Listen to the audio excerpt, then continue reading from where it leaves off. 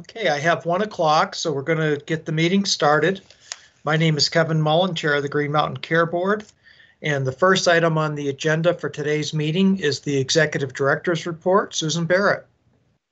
Good afternoon. Uh, thank you, Chair Mullin. I have a few announcements, and mostly around scheduling and some public comment announcements. Um, uh, as I've announced before, on August 14th, the uh, qualified health plan decisions will be released. Um, now we are headed into our hospital budget season. On July 31st, hospital budgets were due. Um, they will be uh, put up on our uh, website as they uh, come in.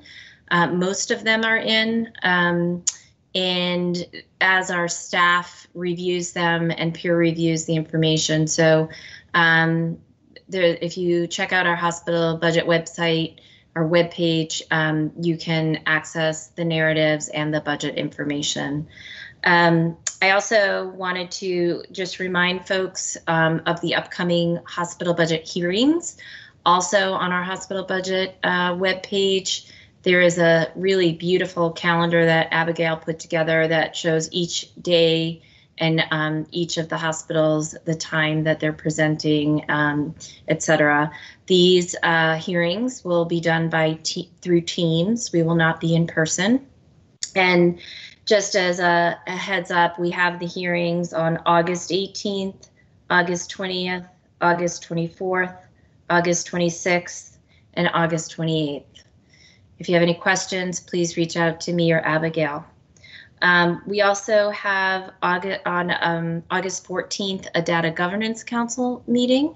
So Tom and I and the rest of the council members will be there. It is also open to the public. We'd encourage you to attend.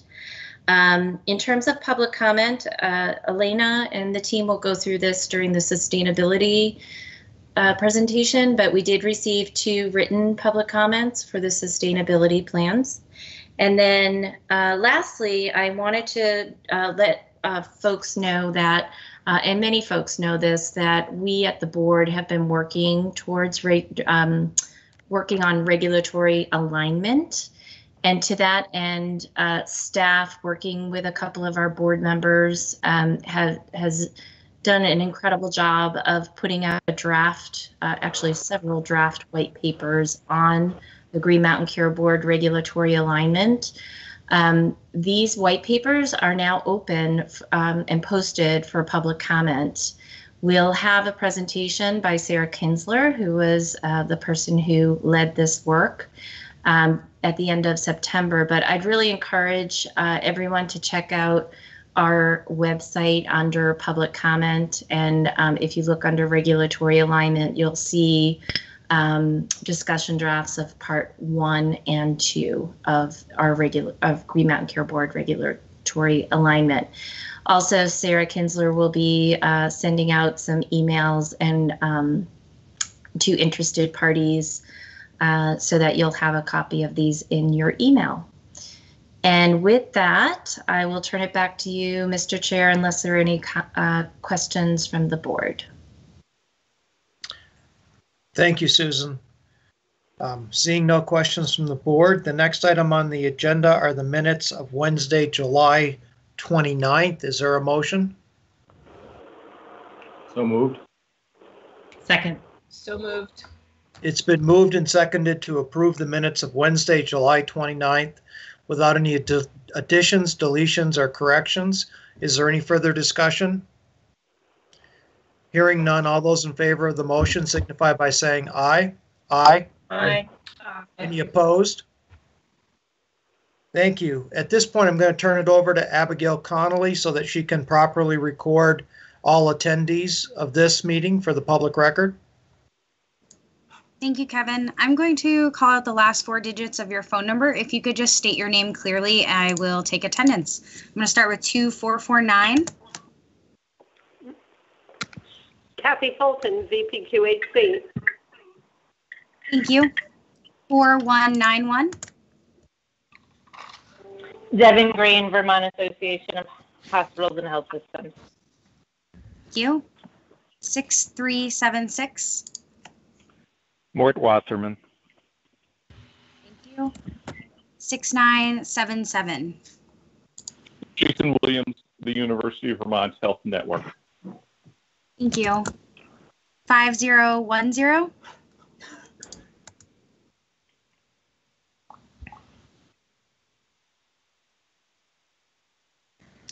Five zero one zero.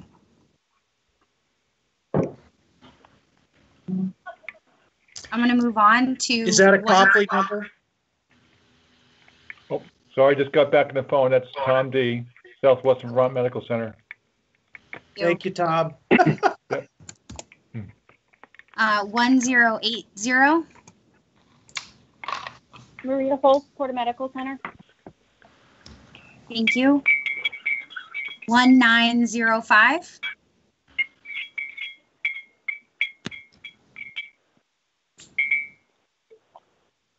One nine zero five. Okay, um, five eight one seven. Jill Sudhoff-Guerin from the Vermont Medical Society. Thank you. Three four five two. Rebecca Copan, Blue Cross Blue Shield. I do have Ham Davis as well. Um, and there are other people that are listed, but their names show up because they're joining via Microsoft Teams. Thank you so much. Thank you, Abigail. So the next item on the agenda, um, we're going to turn this over to Sarah Lindberg and a whole bunch of other people to talk about geographic reporting. And Sarah, are, are you taking the lead or is one of your team members? Are you able to hear me? We are now, Hello? yes. Okay, great. Uh, good morning or afternoon. Sorry. Uh, this is Sarah Lindberg. I'm the a health services researcher with the Green Mountain Care Board, and I'm delighted today to be providing you with an update from our uh, analytic team, the A team. And uh, what we'll do is kind of step through different reports with different owners of that. And unlike a typical presentation, we would encourage you to interrupt with any questions along the way after each person's finished with their section. So with that, I'll turn it over to Kate O'Neill to start.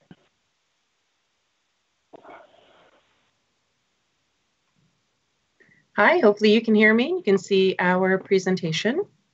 We can hear Uh, you. Great. So uh, I'm going to uh, kick us off with uh, just a, a brief summary and update of the Data Governance Council.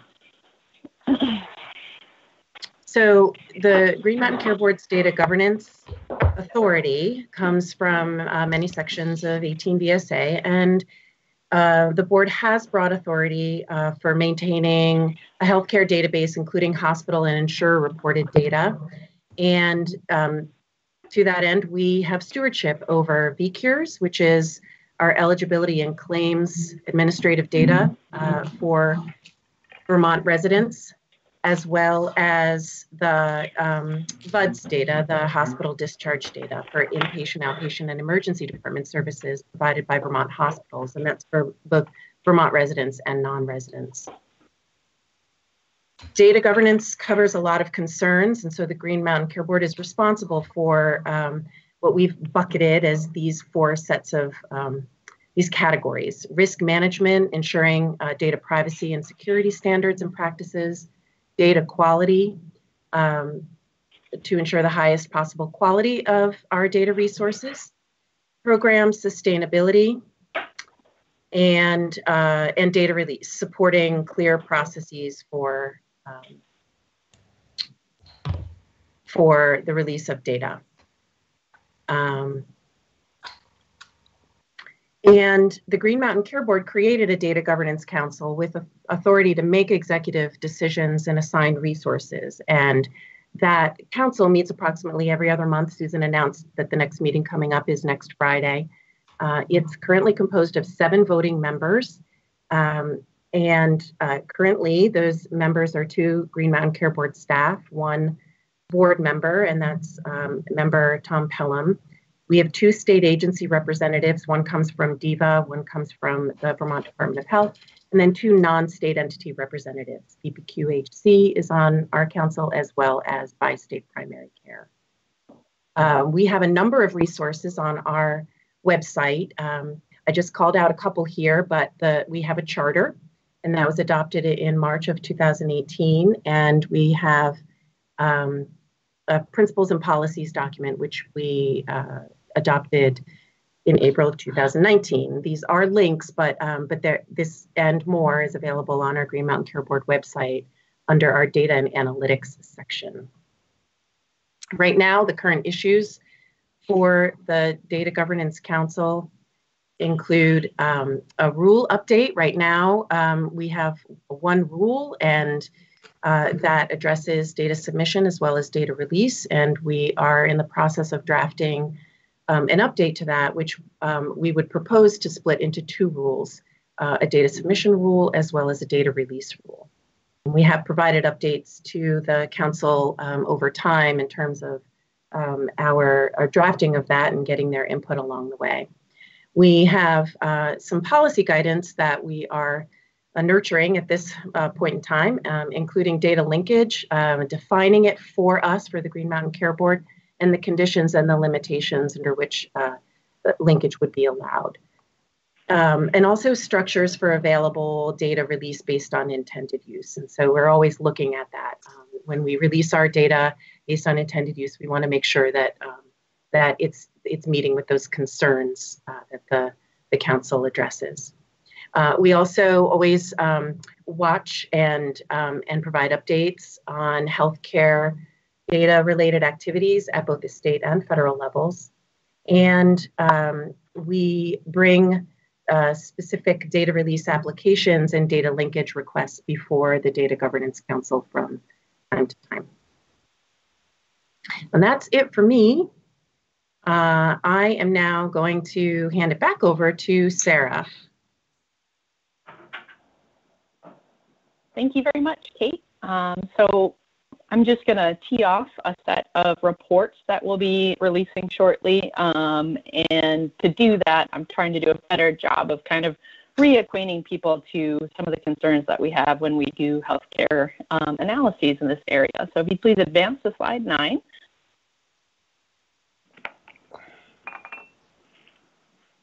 So um, again, whenever we do an analysis, there's the, the place from which we start is, is this a resident-based analysis? Is it, is, are we talking about Vermonters based on where people live? Or are we talking about a provider-based analysis? And that's where the care is delivered. So from our recently released 2018 expenditure analysis conducted by the one and only Lori Perry, uh, our current estimates for the resident spend in 2018 was $6.3 billion. And an example of a resident based analysis would be what we're doing when we measure the all payer total cost of care.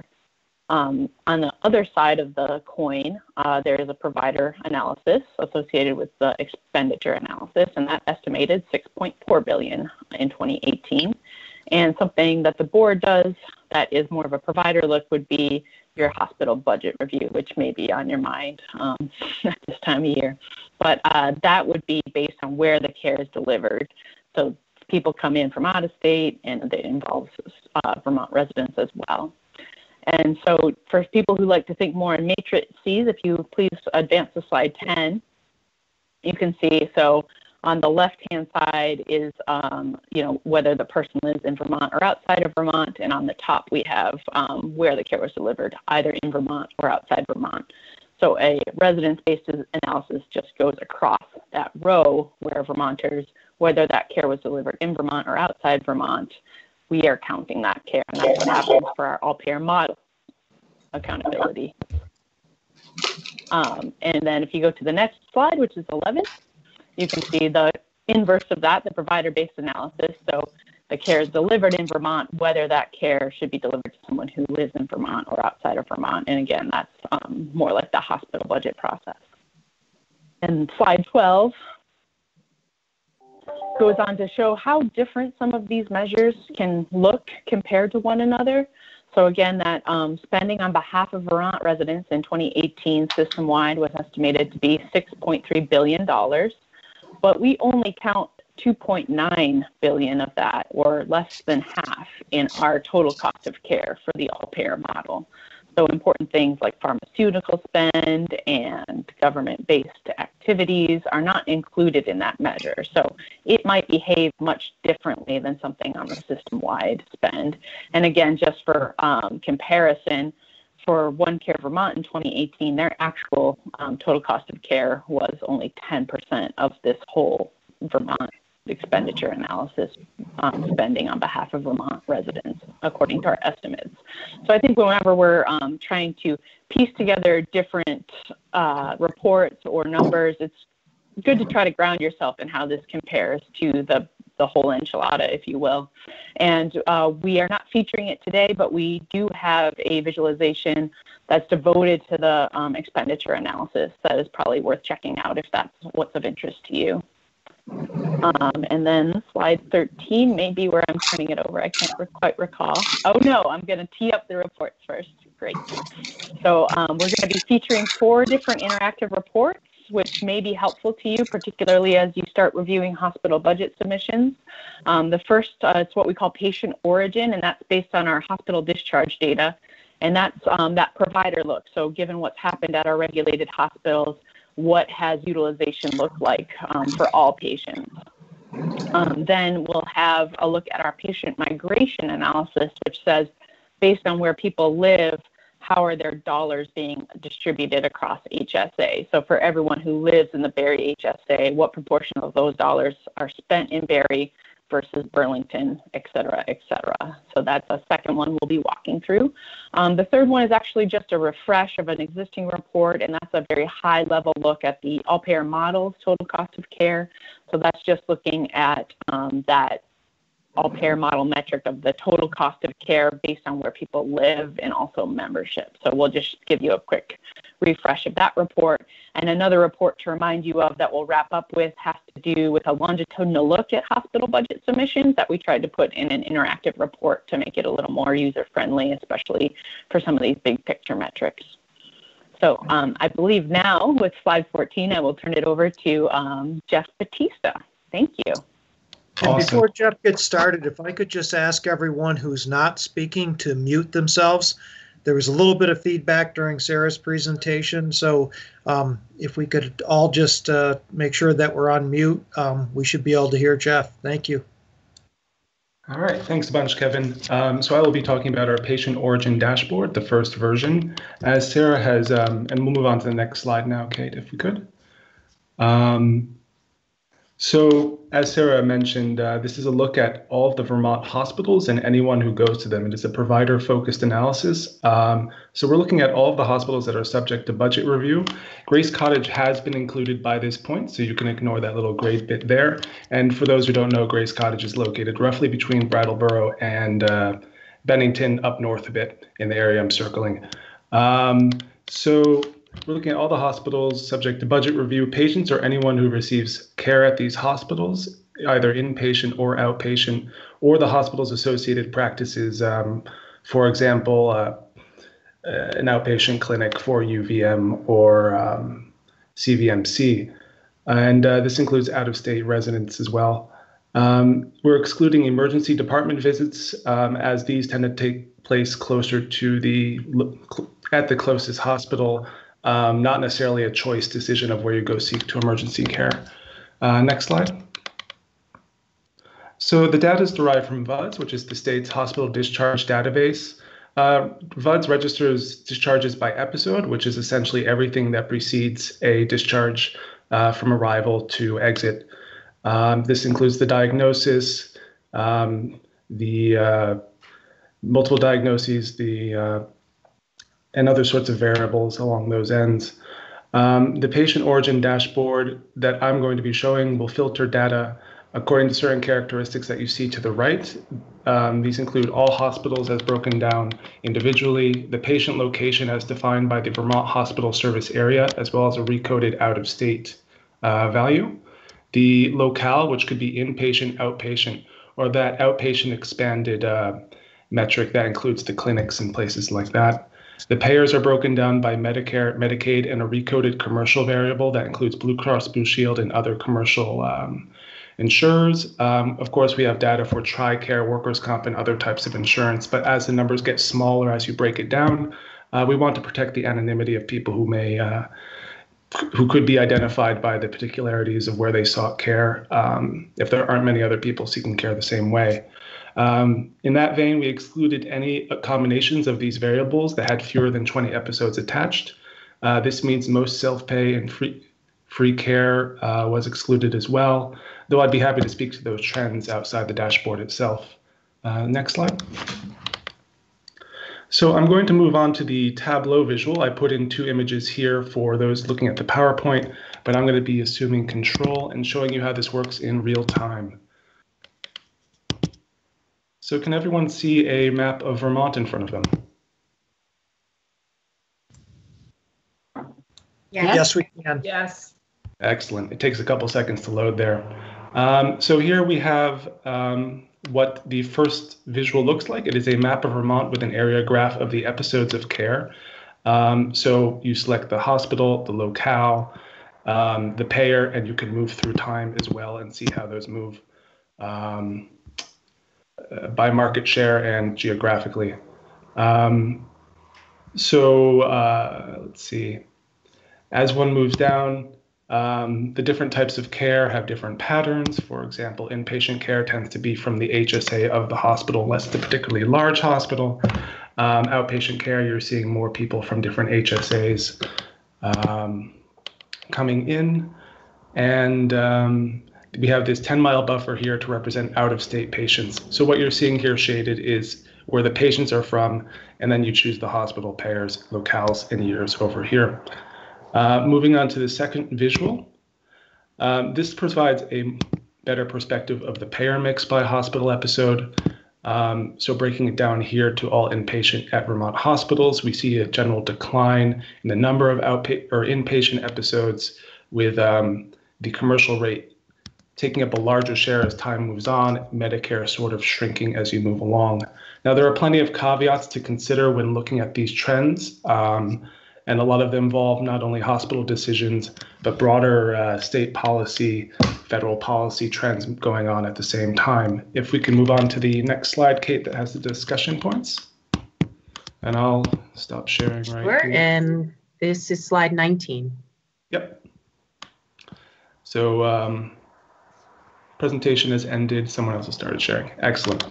So uh, this is the, I just want to provide some context for how to read the hospital discharge data. So the dashboard shows the volume of episodes at Vermont hospitals, but it does not explain the trends. However, one can take the data and factor, and we're going to factor into our own staff research for regulatory decisions and other board concerns, such as the sustainability analysis as it moves forward or not, depending on the vote today. Um, and, but I'd like to note some factors when interpreting the trends. For one, there were many state cha- changes to uh, federal and state programs, regulation, et cetera, between the time period that we have the data. Uh, for example, the ACA uh, began to take force many of its provisions. In addition, there were state efforts to redetermine Medicaid eligibility beginning in fall 2015, and that declines with an overall um, amount of episodes for Medicaid payers since then. Um, also, technological innovation could allow the same care to be delivered in an outpatient setting over time. Uh, we, medical technology is just moving. Uh, uh, it moves along as we measure the data, so it's in, we can't really determine uh, whether people are not seeking inpatient care or whether that inpatient care has simply moved to a different context. Along with this, some of the smaller hospitals, you will see abrupt changes to episode volume.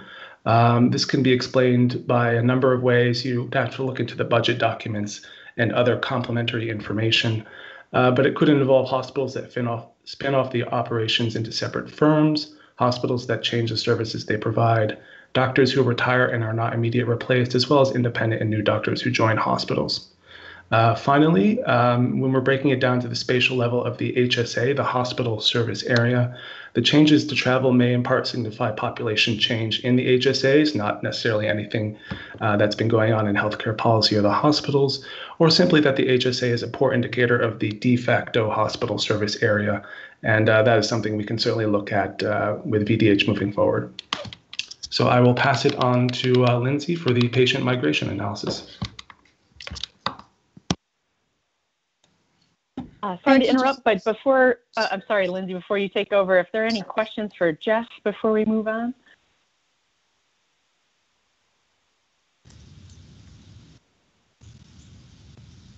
Hi, this is Mort Wasserman. I had one for Jeff. What what distortions, if any, are introduced to the hospital discharge database by the fact that it's an episode-based rather than a person-based database? Um, I could get back to you with a more specific response. I would say that um, I don't believe we have a person-based data, or it would be VCures, which is claims, versus um, VUHDDS, which is episode, and both have trade-offs in the way that they consider the individual. Um, but I'd be happy to look into that further and get back to you, or punt it to um, another member of the A team. Thanks. Yep.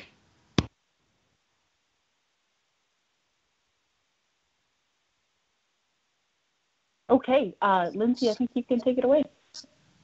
Okay, thank you. Um, and thanks, Jeff, for introducing the patient origin part to this two-part project. Um, Kate, if you could advance the next slide. Yep, so, So we're on I- slide 21 now. Yep, thanks.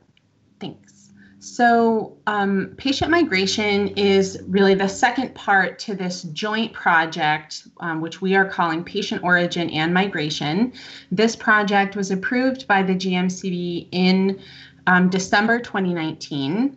The scope of patient migration is to help measure the total medical claims spending in VCures that's mapped from the hospital service area of residents to the hospital service area of the rendering provider.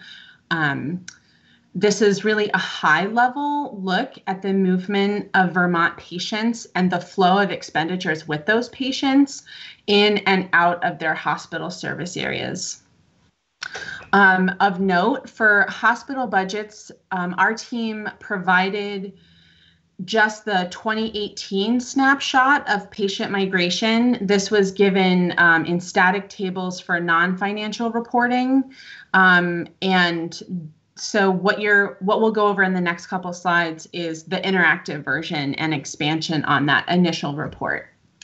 Um, slide 22, please.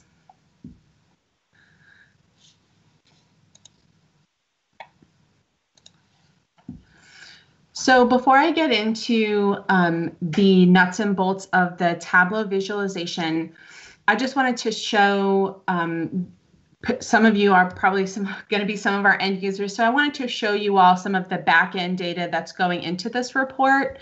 Um, the of note, the data structure here is curated, um, will be curated from aggregating claims data. So any observations shown here are purely hypothetical, not based on any existing claims data, just to give you an idea of what the back end looks like. So we've taken patient ID, age range, gender, month and year of both their eligibility and their claims. It's important that those match up. The uh, primary payer, HSA of residence, HSA of care, the number of claims, claim type, expenditures, and out of pocket spend. And we've aggregated all of that, um, and that is what is powering this visualization that we're about to go look into. And I'm going to talk next on slide 23 about the data cleaning steps.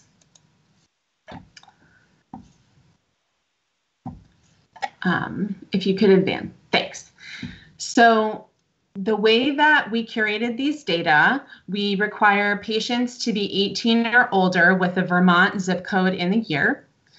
The Vermont zip code is what was used to associate the patients with their hospital service area, and I used VDH's hospital service area version 4. The claims were cleaned to include only those paid and paid by the primary payer. Say that 10 times fast.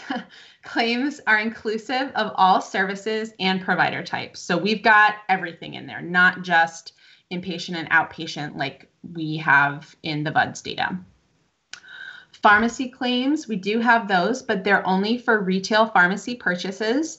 And so what we're excluding in that are those um, pharma, any pharmaceuticals administered during a medical visit.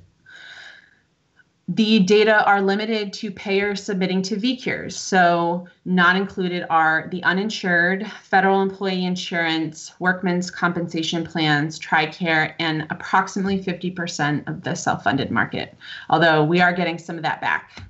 Um, and per request, we include um, some hospital service areas around the Albany Medical Center and the Dartmouth Hitchcock um, Hospital all other out of state visits and claims are summarized to other non Vermont areas. So, slide 24. Thank you. Um, I am, so I'm actually going to go through some static views of what is going to be in the interactive visualization.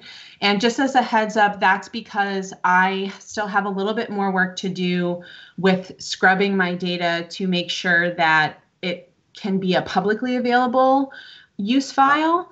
Um, and we didn't want to put anything in the presentation today that we couldn't immediately give out to people. So um, so that's why we're going to look at some static versions of this, but in Tableau, this will all be able to be manipulated. So what we're looking at here is to the left, we have choices of year and hospital service area of residence. And toggling those two options will impact the three views you see. So the center view being medical spend for the residents of the hospital service area selected. So in this example, we've got, we're in 2019 for the Morrisville Hospital Service Area residents. We're looking at the total medical spend for residents of Morrisville, and the larger chunks are the hospital service areas of care where their money is spent. So the largest proportion of spend for Morrisville residents is in um, for medical is in the Morrisville hospital service area. Second to that is Burlington. That's how you would read this chart. Um, all the way to the right, we have an age and gender profile for the residents of Morrisville in 2019. These are not um, these aren't radically different over time or by hospital service area, but I thought this was an important piece to include. Um, and then the bottom half of this first viz answers what proportion of total spend for Morrisville residents stays within Vermont and what proportion goes to providers outside of Vermont. And we've broken that down by payer. And you can see that um, uh, a lot of Morrisville residents spend stays in state and actually relatively stable over time. Um, once you're able to go into this phys visualization yourself and play with the hospital service areas, you'll see that this is not necessarily the case, depending on the hospital service area. So this is this first dashboard is for the hospital service area residents. You can go to slide um, 25. Oh, you beat me there. So this next one is the interactive version of what was provided in the non-financial budget guidance. So the way that we read this is the hospital service area of residents are the rows, the hospital service area of care are the columns. And this is, you can slide back and forth to see the full list. And on the lower left, you can toggle between all these different options. So to select measures, you'll have the ability to select between the allowed amount, um, a patient count, and claim count. You can select years 2014 to 2019. You can select to look at a particular insurance and or you can select to look at a particular claim type.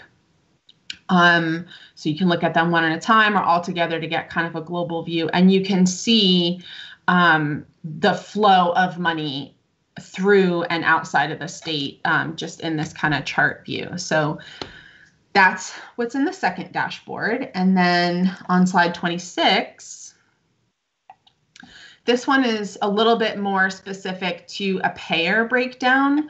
So here we have the medical spend by payer for the residents of again uh, Morrisville, and we're in 2019. So this is just showing similar to the very first dashboard, um, what those trends look like over time. The lower left, you can select between the year. This year and uh, this year button will also help help you change the out-of-pocket trends table. So you'll be able to see average and median out-of-pocket trends by payer and by claim type for those residents. Um, like for example, here you can see that um, Medicare and commercial are kind of on par, and then Medicaid um, for average and median are, are lower. And then all the way to the right, we have a summary of the proportion of medical spend for Morrisville residents that's spent within their HSA versus outside of their HSA. So that's a little bit different than measuring how money flows in versus outside of the state. This is more looking at how money flows through the HSA itself. Um, so again, if you on the interactive version, you'll be able to toggle the HSA of residence and the year to change that statement and the proportions. So next slide, 27. Um, so the next steps for phase one, which uh, phase one version one, this interactive visualization and a HIPAA compliant public use data file will be available on our website soon for everyone to use, play with. Um, and for phase two, which is the 2021 report, we are thinking of incorporating a couple of things um, patient level risk measures like the ACG risk score by HSA and payer and age.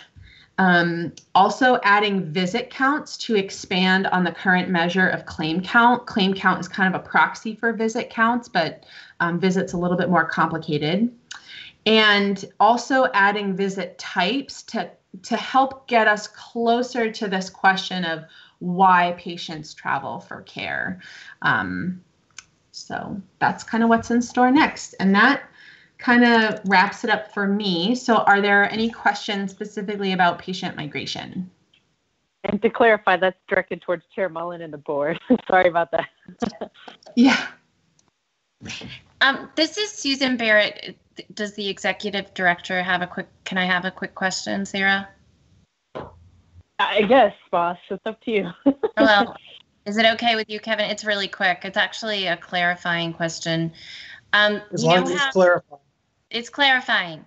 You know how the um, Gobeille decision happened in 2015, I think. I mean, when you're looking at comparing like 2014 to 2019, do you think that is going to have an effect on that analysis? Absolutely. Okay. yeah. I just so, yeah. Um, yeah, and yeah, it's, it's a good flag, and we're going to make sure that we have um, that very important caveat in the published version. Excellent. Thank you. Thank you, Lindsay.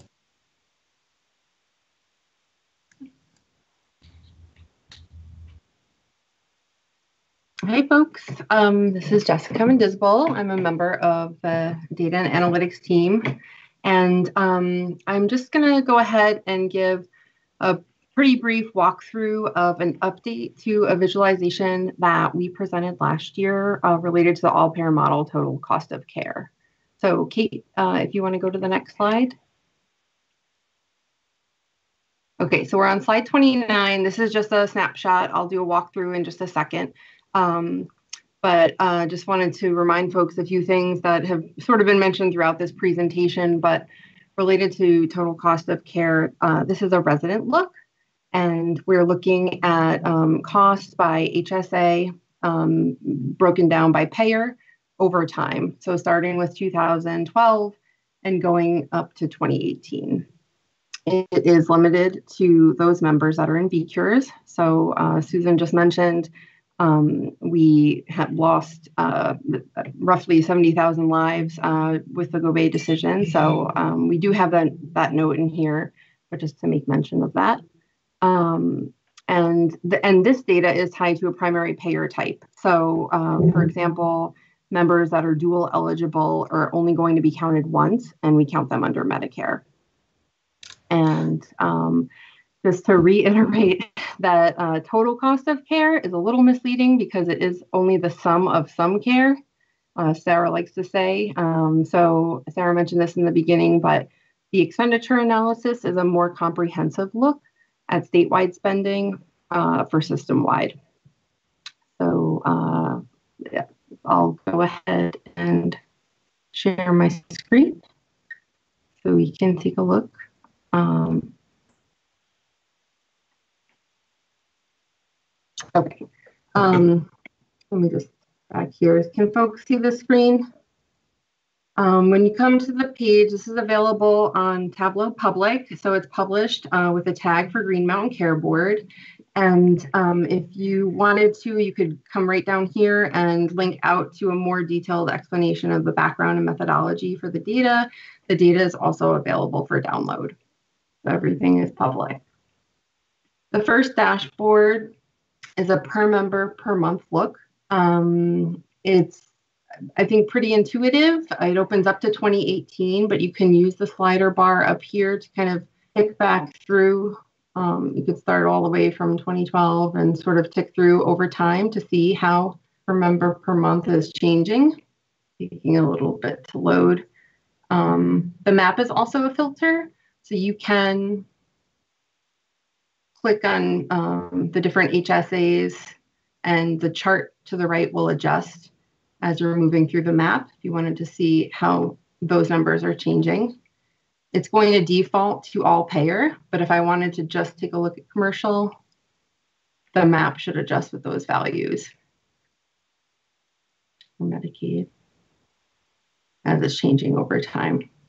So this is really a tool that's meant to be exploratory and let users come in here and just get a sense of how things are tracking. Um, I'll show you the, the member table. But I think, you know, um, we would love to hear feedback on what else folks might want to see um, in terms of additional data. We've spent some time um, talking about that internally. If anybody has any ideas, we're certainly open to it. Um, the, the base data set does have some um, information on uh, age group and gender. So if that's of interest, um, I think that that's something that we could certainly add in. So member table functions pretty similarly to, um, to the member per month. And again, we can just kind of click through the different HSAs, see how um, that's tracking over time. We can see the dip in commercial in 2016, and, um, and we can also adjust by payer.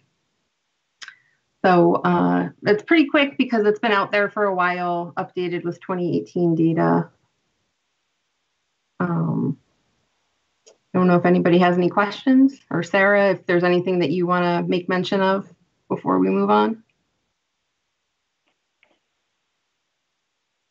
Uh, not at this time. Thanks so much. And again, Chair Mullin, if you or the board has any questions for Jessica before we move on, we'll take those now. Yeah, unless they're clarifying questions on a particular slide, we're going to hold all our questions till the end, Sarah. Okay. Okay, great. Hi, I'm David Glavin, and I guess I'm next. So um, I was both shocked and honored to be selected as the anchor for our 18 relay.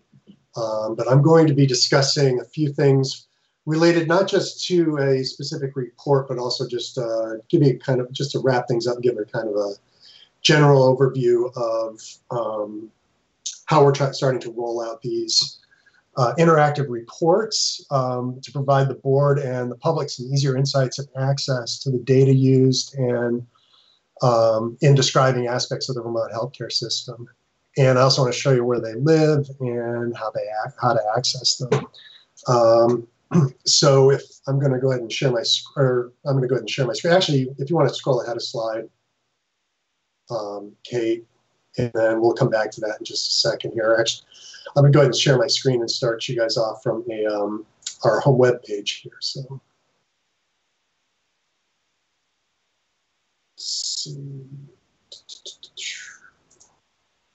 Make sure everybody can see this. So um, I'm going to discuss one of the one of the reports, uh, not in great detail. This is also a report that's been out for a while. It's the Vermont Hospital System Financial Report.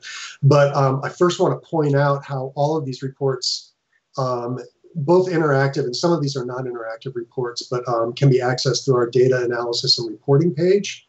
Um, and on this page, we have this section down here called the public reports, and through that.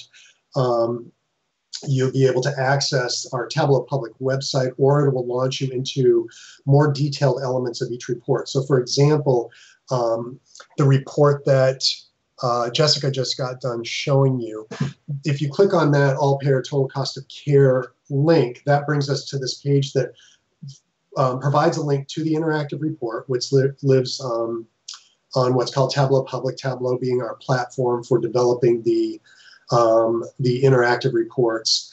And in addition to that, we also have the methodology and background and our the data that's available for download. Um, and I just do want to point out, make it um, make it very clear that I think it's important with all these reports that anybody utilizing anything from these reports should pay special attention to the methodology and background as they'll speak to the specific population and or limitations that the report um, that the report analyzed or that the um, that the analysis is being reported upon. Um, so you know, I, I, know a lot of this goes on in statistics today, where people just do a screen grab of a chart and throw it up there and wave it around and, and call that gospel. And I think it's it's important that that um, that folks using these reports um, do a little bit of due diligence and um, and pay attention to the information that's provided. Um, we're going to try to get a little bit more consistent with this. Currently, not all of our reports have um, have as detailed methodology and background as as for example this one does here that we've developed. Um, but we are um, we are working to uh, to bring this up to speed, bring these this web page up to speed. so that said, I want to I want to just point out another report that we recently updated, and this is the Vermont Hospital System Financial Report, um, sometimes called the um, the hospital budget report that Lori Perry from our hospital finance team develops. And in conjunction with that, um, I've developed a interactive report or a tool that really highlights the high level descriptive um, elements from Lori's report and provides users with some interactive capabilities um, and in, in terms of looking at, in, in this case here, like specific hospitals. This is a high, uh, uh, financial snapshot for each of the hospitals. Um, and I'm not going to go into too much detail here. I want to encourage people to go to the site and explore these. Um, but just to give you a couple of highlights, the map on the, on the uh, left-hand side of the screen here can be used to select different hospitals. Uh, the interactive report will change the, the um, variables and or statistics that are being cited with the exception of these top two static tables. Um, and over here on the far right, you can toggle the NPR, the net patient revenue by year. Um, for, and this is specific to each one of the um, hospitals that are being highlighted. So we can move to Rutland or up to the UVMMC. And that will provide users with a little bit of insight into um, basically some of the high level um, characteristics for the hospitals. Um, we've also created a couple of other views here. One of them is the hospital systems comparison. Um, this particular view provides a number of measures or metrics that are that the user is able to toggle. Um, you'll note, and oh, I should point out, for specific hospital systems. So each one of these toggles over here provides you access to our PPS hospital systems. And down here, the filter will provide you with who those hospitals are. Um, you'll notice that there are no values, and that's because these um, these line charts can look uh, can get pretty uh, filled up with data if, if I put the actual values in here. But if you wanted to specifically highlight um, highlight a hospital. Just select the hospital here, and then it'll bring up the actual um, dollar values. And it looks like I've got to do some formatting up here to add a dollar sign. So I'll get that updated. Um, and just like I said, yet another tool for both the public and the board to be able to use um, in assisting them to um, what I like to call data dense information. So there's a lot of information available to you on one view here rather than filing through a large report with, you know, 25 pages and trying to look for, um, like for back, for example, like I want to look at, I don't have a section com completely committed to UVM and then all the information in, in, 25 pages. You can look at UVM, and then I want to pop over to Gifford real quick. I can put, select Gifford and pop over to that, and it provides that da data density for each one of those hospitals. Um, real quick, back to our last tab um, that I want to highlight is just this is the entire hospital um, system for Vermont um, aggregated into just a couple of views with the budget values, um, the actual budget values in this this filter over here allows you to update the line charts or the line plots on the right-hand side of the screen.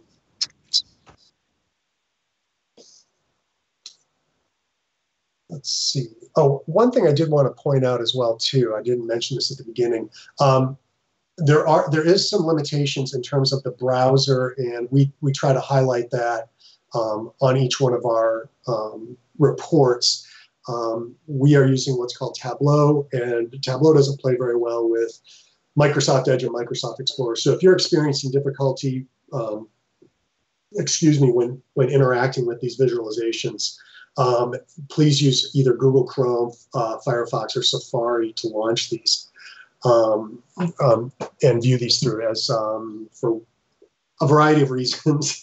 Microsoft, uh, um, this product doesn't play well with, uh, with Microsoft um, browser tools. And with that, I'm going to stop sharing my screen. I did want to point out a couple of uh, a couple of other um, things, or wanted to highlight just a couple of other things here real quick. Let me stop sharing my screen though. I can figure out how to do that. And I just wanted to uh, make a mention of, of few of the things that we're uh, in the process of doing. One of them is in the process of enhancing the current reports that are accessible on the Tableau website.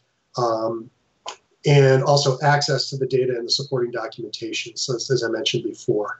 Um, we're also trying to rebrand um, and have a more consistent formatting and color scheme amongst the reports, just so that people know that when they go into these reports, that they're looking at GMCB curated data and reports. Um, in addition to that, and actually, I think I am going to go back to a quick screen share here, um, if that's okay. I just realized I forgot one. So I do want to point out that on that if we if on the Tableau website, this is the Tableau public website. These are the four reports that we have. So any of those four reports can be accessed on our State of Vermont Green Mountain Care Board website. So I did want to point that out. If I was remiss in doing that um, just a second ago. Um, and then, whoops, finally, um, like I said, um, any feedback regarding these points, regarding these reports is, really welcome. Um, we oftentimes can miss certain um, pieces that the public or that the board might want to see, and also enhancing the reports is something that we want to do to make them uh, more interactively or more usable. Um, I know one of the comments we've gotten back is is that um, these reports don't necessarily transition well from tablet to or from desktop to tablet. Our current reports that are on the web um, are designed more for use on a desktop, but we are going to be um, making cop or um, making the reports uh, available in a tablet format as well so that people that want to use them on tablets um, can access them and, and the interactive and um, visualizations themselves will look a lot better on the tablet form. So we're in the process of having all of the reports be available in those dual formats. I don't think they're as um, I don't think that we're going to be exploring using them on phones just because um, I don't think they're particularly useful on that size of a screen. Um, and then one last thing I want to do is just just really give a shout out to all of our developers within the A team. Um, I know these reports can look very simplistic, but they are not easy builds. Um, they a lot of the solutions require a lot of planning, logic, and problem solving that's involved on the back end. And our team, you know, just building these in general, and I think as as um, Lindsay pointed out, um, in just in terms of just that quick view of the data, um, all the team members require a solid grasp of coding in a variety of languages, um, how data structure or how data is structured, and also a solid understanding of mathematics and statistics to make these things work. So, um, you know, I, I, know they look kind of simple and I know they're fun to use, but there's a lot of hard work and um, and um, thought that goes into developing these tools. And with that, I will send this back to whomever will wrap things up. uh, we're at the point now of questions and discussions. So um, we'll start with the board members. And Kevin, I think we're turning it over to you for that. Okay, um, I'll, I'll go in alphabetical order. Um, Member Holmes. Okay, great. Thank you. Um, so first, I just want to say fantastic and thank you so very much to the, the A team. Um, having been on the board now for six years, uh, I can tell you that the evolution of data analytics has been tremendous, and this is going to be really helpful. So thank you. Um, I'm looking forward to digging in even more.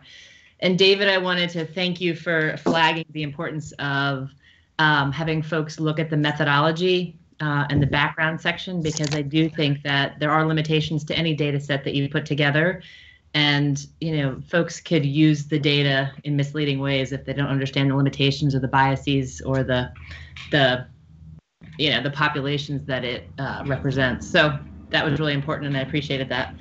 Um, one question was for kate. Uh, i'm just wondering how many applications do we get for per year now for data use in the data governance council and uh, what I can't remember, forgive me, where are we at with conversations around fees for out of state users of our data? So uh, the for the first question, we um, get uh, I would say a handful of data requests each year. Um, we um, now ask uh, anyone who's interested in the uh, hospital discharge data set public use file actually file a request. It's a very simple request, but we um, we've learned now how many people request that, which is quite a few. And I would say, um, you know, in the neighborhood of you know 30 or more um, each year. So they they come in um, a couple of a month, and um, for the um, data use agreement applications for data release for the limited use non-public data set for um, VUHDDS, it's uh, limited. You know, there's not that many. There's a couple. Uh, we actually are entertaining one right now. And then for VCures, um, it's you know it's a handful. I don't think it's that many more than um, than I've seen. Like I haven't seen it really grow all that much um, over the years. Uh, but you know, it's it's a it's you know a handful a year. In terms of fees, we have not pursued that. Um, it would require a fee bill um, change, and um, we have talked about it as a data governance council uh, in sort of preparation for the possibility of that. Um, you know, how, what what structures would um, fit for Vermont because um, we have a lot of other states that we can look to in terms of how they structure their fees and um, and so we've we've done some of that research and explored that a little bit. We have not moved forward with that at this time. Are we an anom- uh, anomaly by not charging fees relative to other states? Many do charge. I don't. I wouldn't say we're an anomaly because not every not everyone does, and I I think um, it it uh, some largely depends on how their APCD, um, their all payer claims database, um, has been set up in um, in different states, and um, I, I, think states newer to this space um, incorporate a, a, fee structure in their legislation, and then in the in the rulemaking, and then you know in their operations. So uh, we've you know had our claims data for you know, for a lot longer than many other states, and um, and so we're, you know, we're contemplating that separately. I don't. We're not an anomaly, but I do think that um, that we have looked at, you know, five or six or more um, states, at least, that have interesting fee structures that vary. Okay.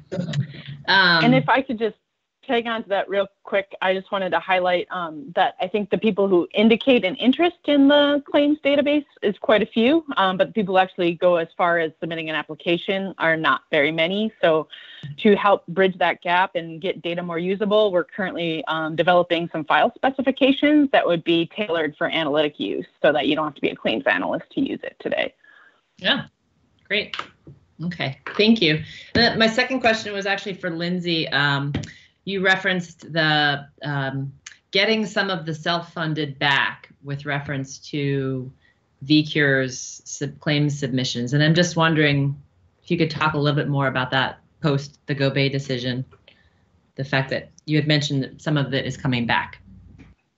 Yeah, um, there are some efforts underway to engage uh, these self-insured groups.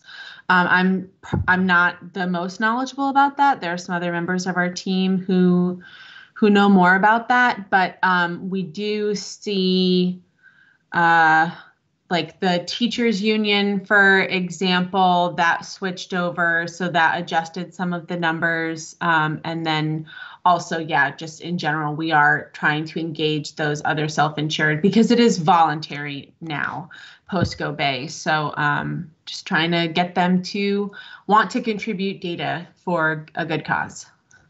Does anybody else on the team want to speak more about that? Um, I'll just say that we know the population changed. Um, the people for whom we have claims and VHCURES are different pre and post Gobeille. And so um, there's different ways we are working to address that, um, but none will be perfect. Thank you. That's it for me. Thank you. Um, Member Lunge. Thank you. Um, I had uh, I noticed that Mort actually asked one of my questions in the chat box, which is why the team had excluded kids. So I'll just highlight that Lindsay answered that in the chat box. And can I just uh, say that for the purposes of the the public meeting, it's much better to ask a question in public comment than to do it in the uh, chat, because I'm not sure how that gets recorded.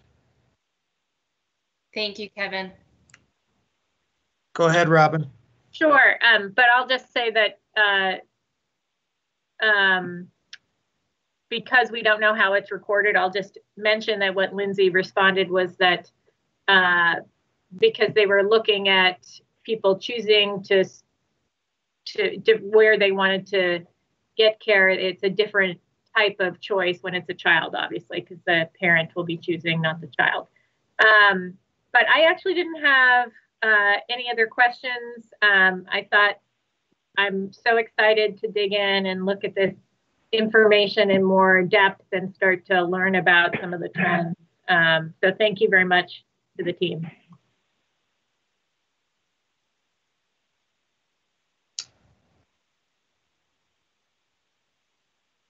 Thank you, Robin.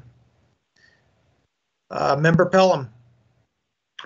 Uh, thank you. Um, and my applause as well to the A team for doing this. Um, you know, I just can't imagine untangling all the complexity of this and putting it in a way uh, in, into a database that you know people can use and trust. Um, that what they're seeing is um, is reflects reality, but also understanding the methodology that you know, profiles the risks. My one question is um, I would think there'd be a lot of people interested in knowing this um, and, and, getting fam- very familiar with this. Um, but it's also something that hunting pecking by yourself uh, could take a long time. And I'm so I'm wondering if the A team, you know, will maybe do some training sessions, uh, do it online, you know, getting legislative staff and members of the public and maybe reporters and lobbyists and others that you know, would naturally kind of gravitate toward using this data, but but uh, help them over the threshold uh, with some kind of SimQuest-like training, um, so that that they know the ins and outs. Um, so that's my question, probably for Sarah. Yeah, hi. Thank you for your question. So um, I think that's a really important point, and uh, one I should have made more clear is that we look at these as kind of um, exploratory tools, and we're we're certainly happy to provide support in learning to use them. we also, you know, will have the data sets behind them available for people to peruse on their own. Um, but the, the next kind of step in this will be doing what I consider kind of more of a analytical white paper or brief. And um, what we, you know, would be happy to do is help tee that up with some um, guidance from interested parties about kind of the questions that we can be looking at. For instance, a, a robust examination of in and out migration um, would be something that I think would be really worthwhile putting together, which would be kind of figuring out a cogent way to compare or bring together the hospital discharge and VHCURES data to get some estimates of what that looks like over time. So um, that's that's something we absolutely want to help provide. But um, you know, I, I, consider ourselves in the business of helping to answer questions more than posing them. So we um, definitely would like help figuring out the the best way to address need. Thank you, Sarah. And member Usifer. Uh, thanks. First, um, you know, uh, this presentation is very helpful, especially as we move into the hospital budget timing and, and being able to look at, um, you know, some of those HSAs and things like that. Um, I really don't have any questions. I went through with the team earlier the presentation, but just one comment on when you're looking at some of the total cost of care data. Um, and the percentages that show the change year over year, one thing um, you need to watch out for is as Medicare, people in the Medicare realm increase, and if it's offset by commercial or Medicaid, the percentage change in total and total cost of care can look much higher than the sum of the aggregate, if, if you know what I mean. So if each of them, if if uh, if they all went up by 3% year over year, as far as change year over year for total cost of care, if the population shifts where more people go into Medicare, which is a much higher rate, then the percentage looks a lot higher. So it's just something we're going to have to watch for as we go through some of the total cost of care information. But all this very helpful, so thank you. Okay, at this time, we'll open it up to the public for public comment. Hi, Kevin. I have a. Oh, Go ahead, Eric. Uh, this is Eric Schultheis from the HCA. So this question is about slide or comment is about slide 26 that Lindsay presented. I, I guess I was just a little confused by the average and median out of pocket spend. And um, so just a few thoughts about that. I, I wonder if the value of presenting that data is um, outweighed or is outweighed by potential misuse. So I think when I saw it, I both look at median and um, average. So it's like it's a highly skewed distribution, um, kind of like income, perhaps even more so. Um, you know, maybe put a pop up or something where you could click to look at that. But I think also there's a lot of variation between median inpatient, outpatient, and ED spend. Mm-hmm. And there's some extent to which when I see this, it's like a question of is it per incidence? Is it per annum? Per plan year? And yep. there's a sense that it there's a disconnect between, say, the 25 median out of pocket spend for commercial with what we're hearing from consumers from what consumer advocates talk about nationally, and also a disconnect around the cost of medical care from policy think tanks, so like the Kaiser Foundation, Commonwealth, and United States of Care. So I think um, of all the things that uh, were presented, I think this one, for me, raised a lot of questions and kind of definitional issues that I felt like made it confusing. I, I just also wanted to echo what the board has said much more eloquently than I could, and also what David said that it is an immense amount of highly technical and conceptual work that goes into creating these things. And, uh, you know, I, I think sometimes the simplicity of these dashboards um, covers up the amount of work that goes into it. And it's not easy to simplify this information in this way. and the A team should really be all of, including David and everyone, should be applauded because it is a Herculean task to do. Thank you. Thank you for the comment, Eric. I think um, you brought up some really valid concerns, and I can see where the language is lacking around exactly what is being shown in that table. Um, and also, the uh, so we can fix that. That's really easy to fix. And also, um, that table um, was probably the least popular anyway, so it's also really easy to take out um, and replace with something maybe more meaningful. And I, for one, would be really interested to connect with you in the HCA to learn what other metrics uh, might be useful for you all that we could build into the dashboard instead, in addition to adding more clarity. Um, so thank you for the thoughtful yeah. feedback. And absolutely circle back and, you know, at least with some folks down at um, the policy shops down at Penn or at the United States of Care, I can see if maybe we could talk about how we could measure impact on consumers because it is a really challenging issue and I would love to kind of circle around and brainstorm with you how we could do it. Great, thank you. Yep. Okay, other public comment or questions? Question. Go ahead, Dale.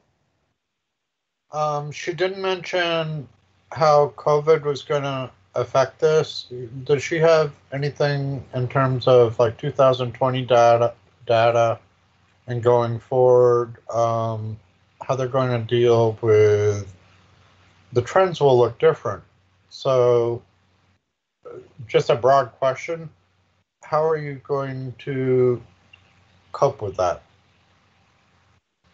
Uh, hey, this is Sarah Lindberg. I can take that one. So yeah, um, we absolutely are just starting to get in relevant 2020 claims. Uh, this fall is when we'll get our real first uh, robust look in in VHCURES. That's when we'll start getting the relevant uh, months. But yeah, we fully expect that uh, expenditures are going to go down in 2020. We have some early um, Medicare data that shows that it's down um, probably around the tune of six percent overall um, for the relevant month. I mean, for the year to date, I should say. So um, that's uh, something that we're going to have to address. And you know, I think depending on whether you are considering actuals and and what it means, or trying to forecast what it might mean in terms of utilization that didn't happen and its effects, um, the way you deal with that might be much different. So, something we'll definitely be working with a lot of different stakeholders to present in a, a meaningful way, depending on the use.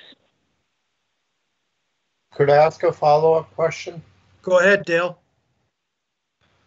And pursuing that same line of thought, and acknowledgement that utilization will be down, there are consequences to the fact that it is down in terms of how that happened. If it was ER visits because you can't actually get a doctor's appointment, was it a telehealth that didn't really have the ability to deal with the issue as a telehealth issue, but was doing its best to do that. There's the limit on how many people can be seen a day. Um, there's the team uh, or coordinated team delivery system whereby you have coordination of your specialists and your provider, um, primary care provider. If that's fallen apart, because of COVID. Are these things you're going to be able to capture because it's going to reflect somewhere that people had poor health? I mean, I can go on the international level and I can find worry about increases in certain diseases that they can no longer vaccinate for. And they're certain it's going to happen and you're going to have other concerns about morbidity and so forth. And it is actually related to COVID. Is this hopefully making sense? Because I just kind of threw a lot at once. Uh, I think I'm picking up what you're putting down, and uh, the, the I don't think there's an easy answer. There's going to be so many questions, and probably not enough time to answer them all. So, our first task will be kind of prioritizing questions and uh, working with the administration, I think our first task will be trying to figure out um, where we still might have high risk but didn't have a lot of cases to help with capacity planning um, by using some historical influenza treatment trends. So I think that's where we're going to start. Um, and then from there, I think, yeah, uh, telemedicine is high on the list, and we're working with other stakeholders who are examining that issue. Um, but yeah, in terms of the uh, impact on health, that's going to be a, a, much more complex knot that probably will take a few years to figure out. Okay, thank you. Okay, other public comment? Um, hi, this is Susan Aranoff from the Vermont Developmental Disabilities Council. And um, I don't know where this fits in with data governance. However, just yesterday, um, just last week, when you were talking about the OneCare budget, uh, both um, board member Pelham and myself commented about some missing data and information from prior years that we sort of surmised was probably out there and available and could be useful for understanding what's going on. And um, just yesterday, OneCare published a, a press release announcing um, quality measure scores, which I uh, shared in the chat box.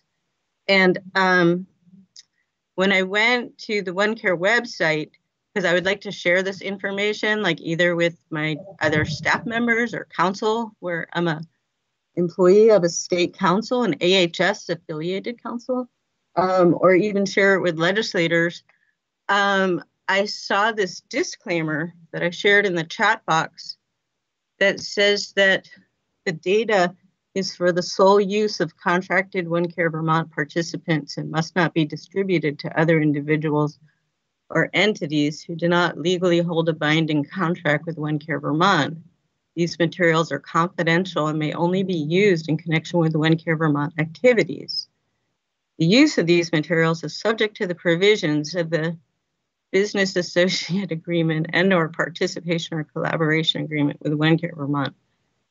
So my question to you, Mr. Chair, is to help me understand this, especially in connection with this tremendous, and I should have started there, really tremendous presentation by your data team. However, I, I don't know what to, what to do now with this information. I'm wondering if so, cycling it through Green Mountain Care Board could inoculate it so that you could make it public. We need to be able to so, talk about so this. Susan, and we shouldn't have to wait till November to do so. Thank you. Susan, I believe that um, that disclaimer was a mistake. Um, I, I would have uh, said that we would strongly discourage the use of the, the uh, chat room, but you seem to have gotten a quick response. So Spencer Weppler, if you are on the line and able to address this, it's my understanding that you're removing that um, disclaimer and that it was put up in error. Is that correct? Yes, that is correct. It's being removed this afternoon. Thank you. Susan, Thanks. you are you are ever vigilant and you catch a lot of errors. So thank you. uh, I just try to do my job, Mr. Chair. And at a time like this, um, access to information in real time, it just really matters. And yep. um, I'm glad to know it's a mistake. There have been other times when OneCare stated things like certain Medicaid money can only go to them at Green Mountain Care Board meetings, and it's taken forever to have that be acknowledged as a mistake. So I'm really glad for the quick response this time. Thank you. Thank you, and thank you for pointing that out. Uh, other public comment? Hey, Kevin, this is, this is Walter. Hey, Walter. I just kind of wanted to follow up on what Susan asked a little bit. I just wanted to know what or how will all this mountain of data that has been so arduously collected, sorted over, done, analyzed by your team, how will this help access to healthcare? which is our perennial problem.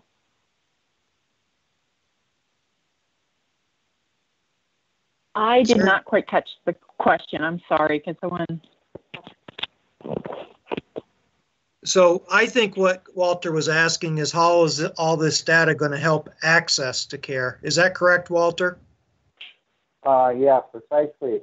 Thanks, Kevin.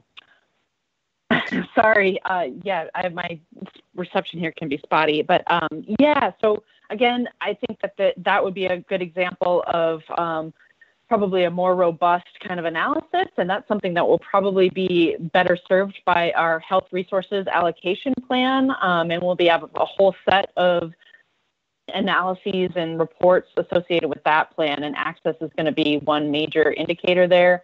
Um, it's kind of easy to look at it from a geographic standpoint, but the true um, measure of access is a much more complicated thing to measure. And so that'll certainly be an iterative process. Um, but in the meantime, this could give you an indication um, if it seems like uh, people are traveling more or are traveling less to receive care. That could be an indicator um, related to access um, changing. Um, one area where it will be interesting to see is for um, certain inpatient procedures, whether the ambulatory surgical center is changing um, some patterns of care up in that part of the state, so that we won't start to see until we start getting uh, the next year claims in uh, and complete. But uh, I think that uh, measuring access well is, is a is a really uh, important thing to do, but a very uh, not an easy one. Okay, is there other public comment?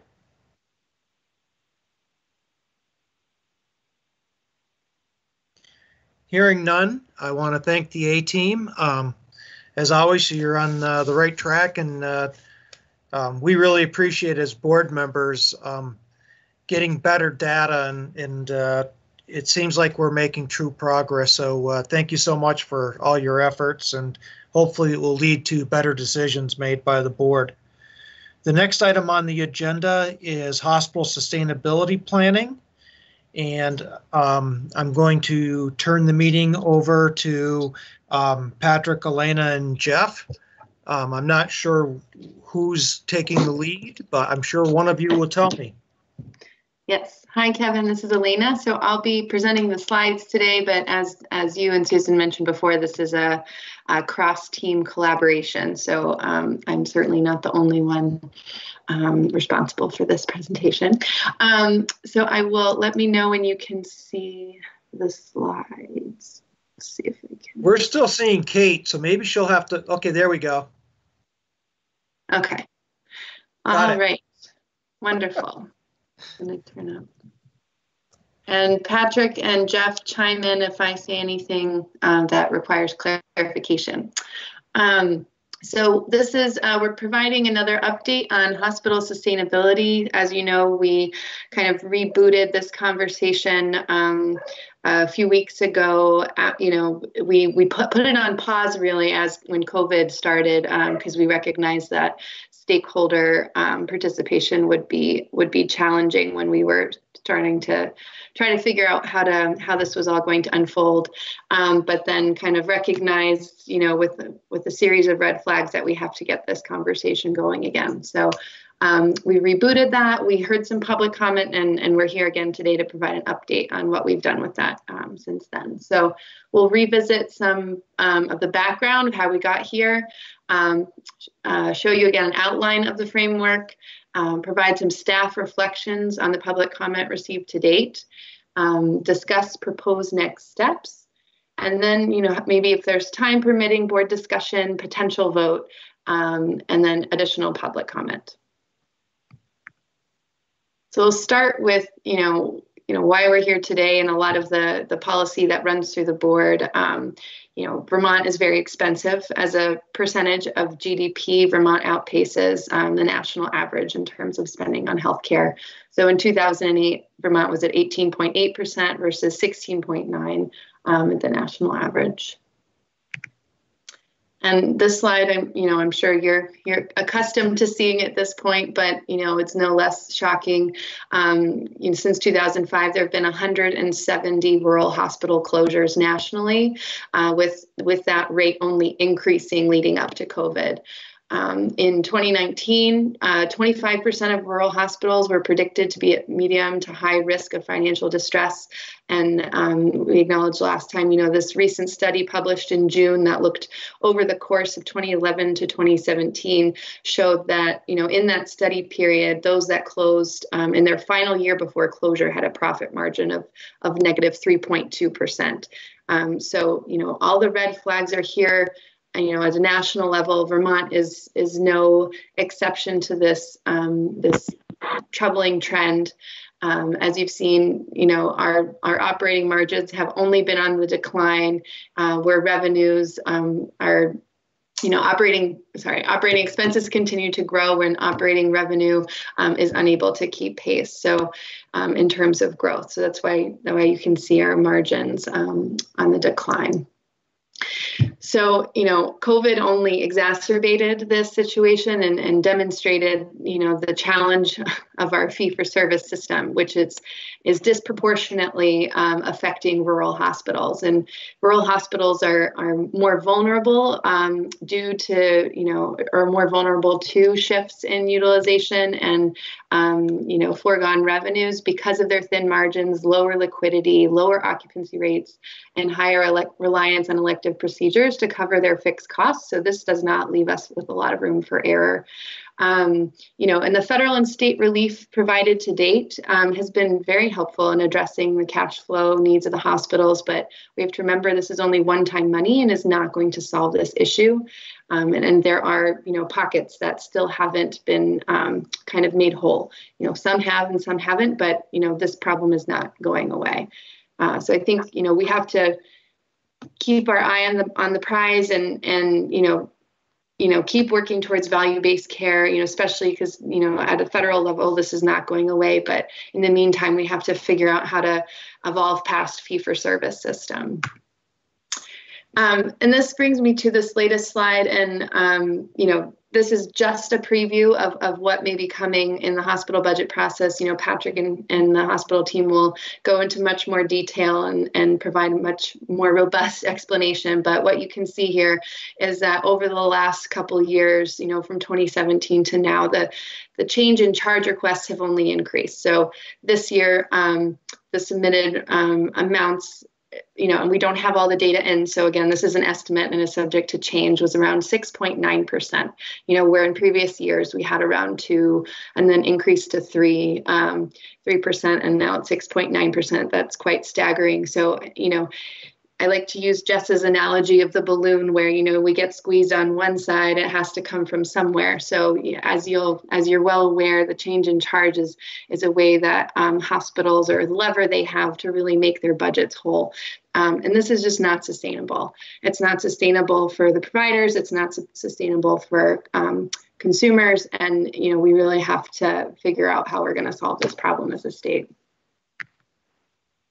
so I just wanted to revisit some statute that guides the work of the board and um, these various processes. So, you know, our five our five key criteria, um, you know, is to improve the health of the population, reduce the per capita rate of growth and expenditures, while ensuring access to care and quality of care. And I think this is where where we are right now.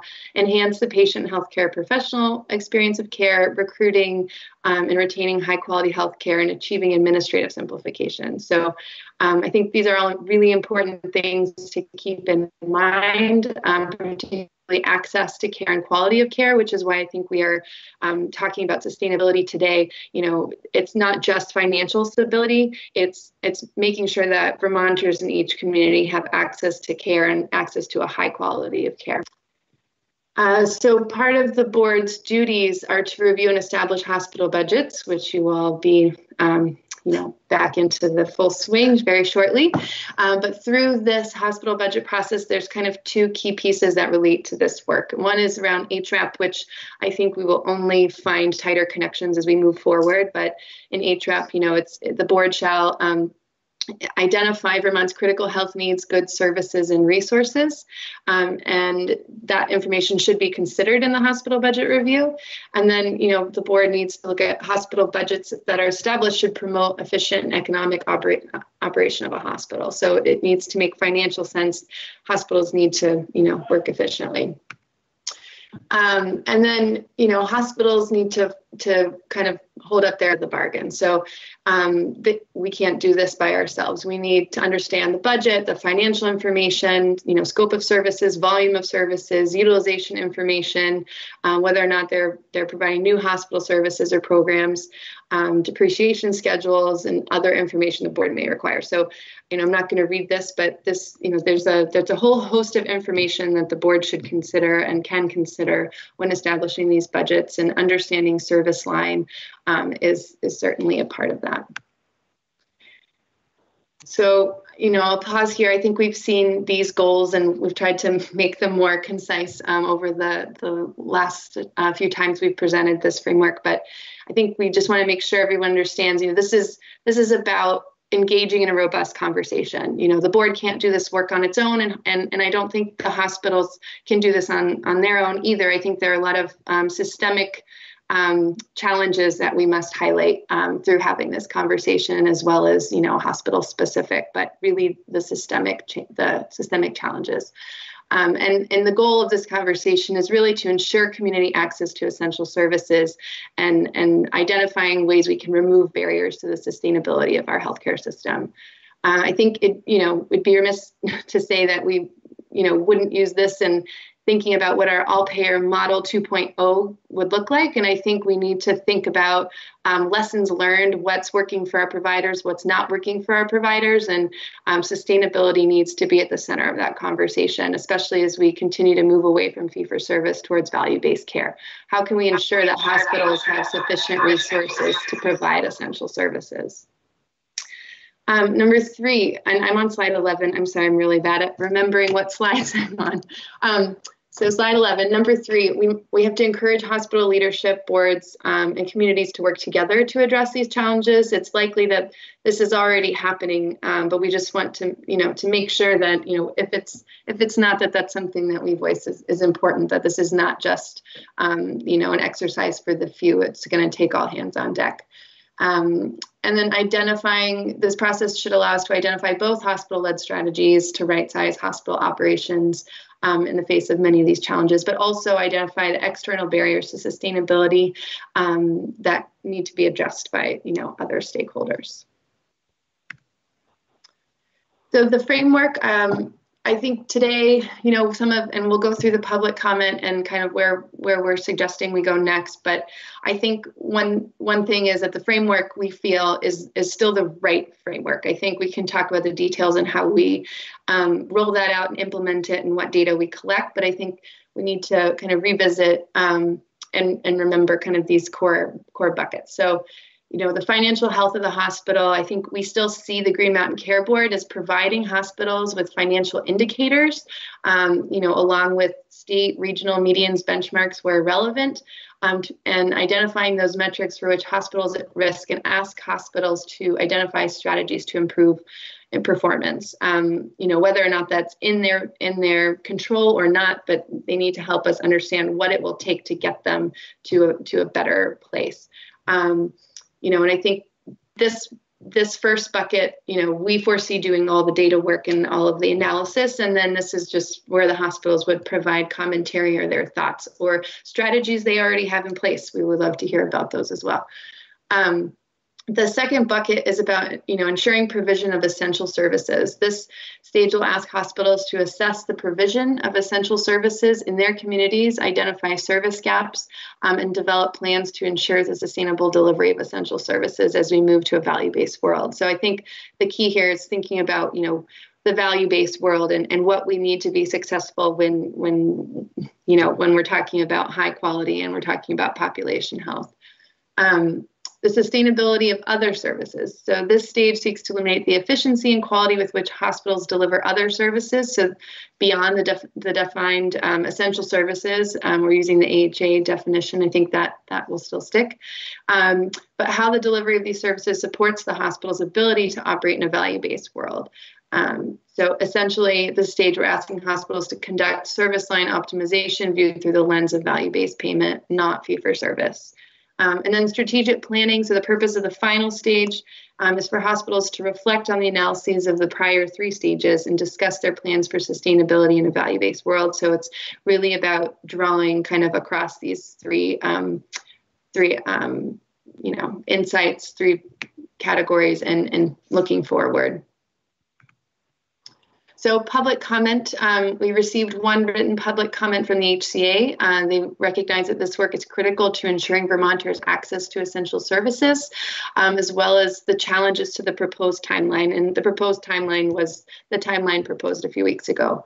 Um, a second public comment which we received recently, and there was a lot in there, um, but you know we just for simplicity's sake included the two key recommendations um, from VAHHS was to assess each organization's sustainability within the hospital budget process, which collects ample data um, already and is well designed to account for the factors um, of informing hospital health. Uh, they also ask that we rethink and postpone the broader conversation connecting sustainability with reform and transformation until after the annual hospital budget process is complete.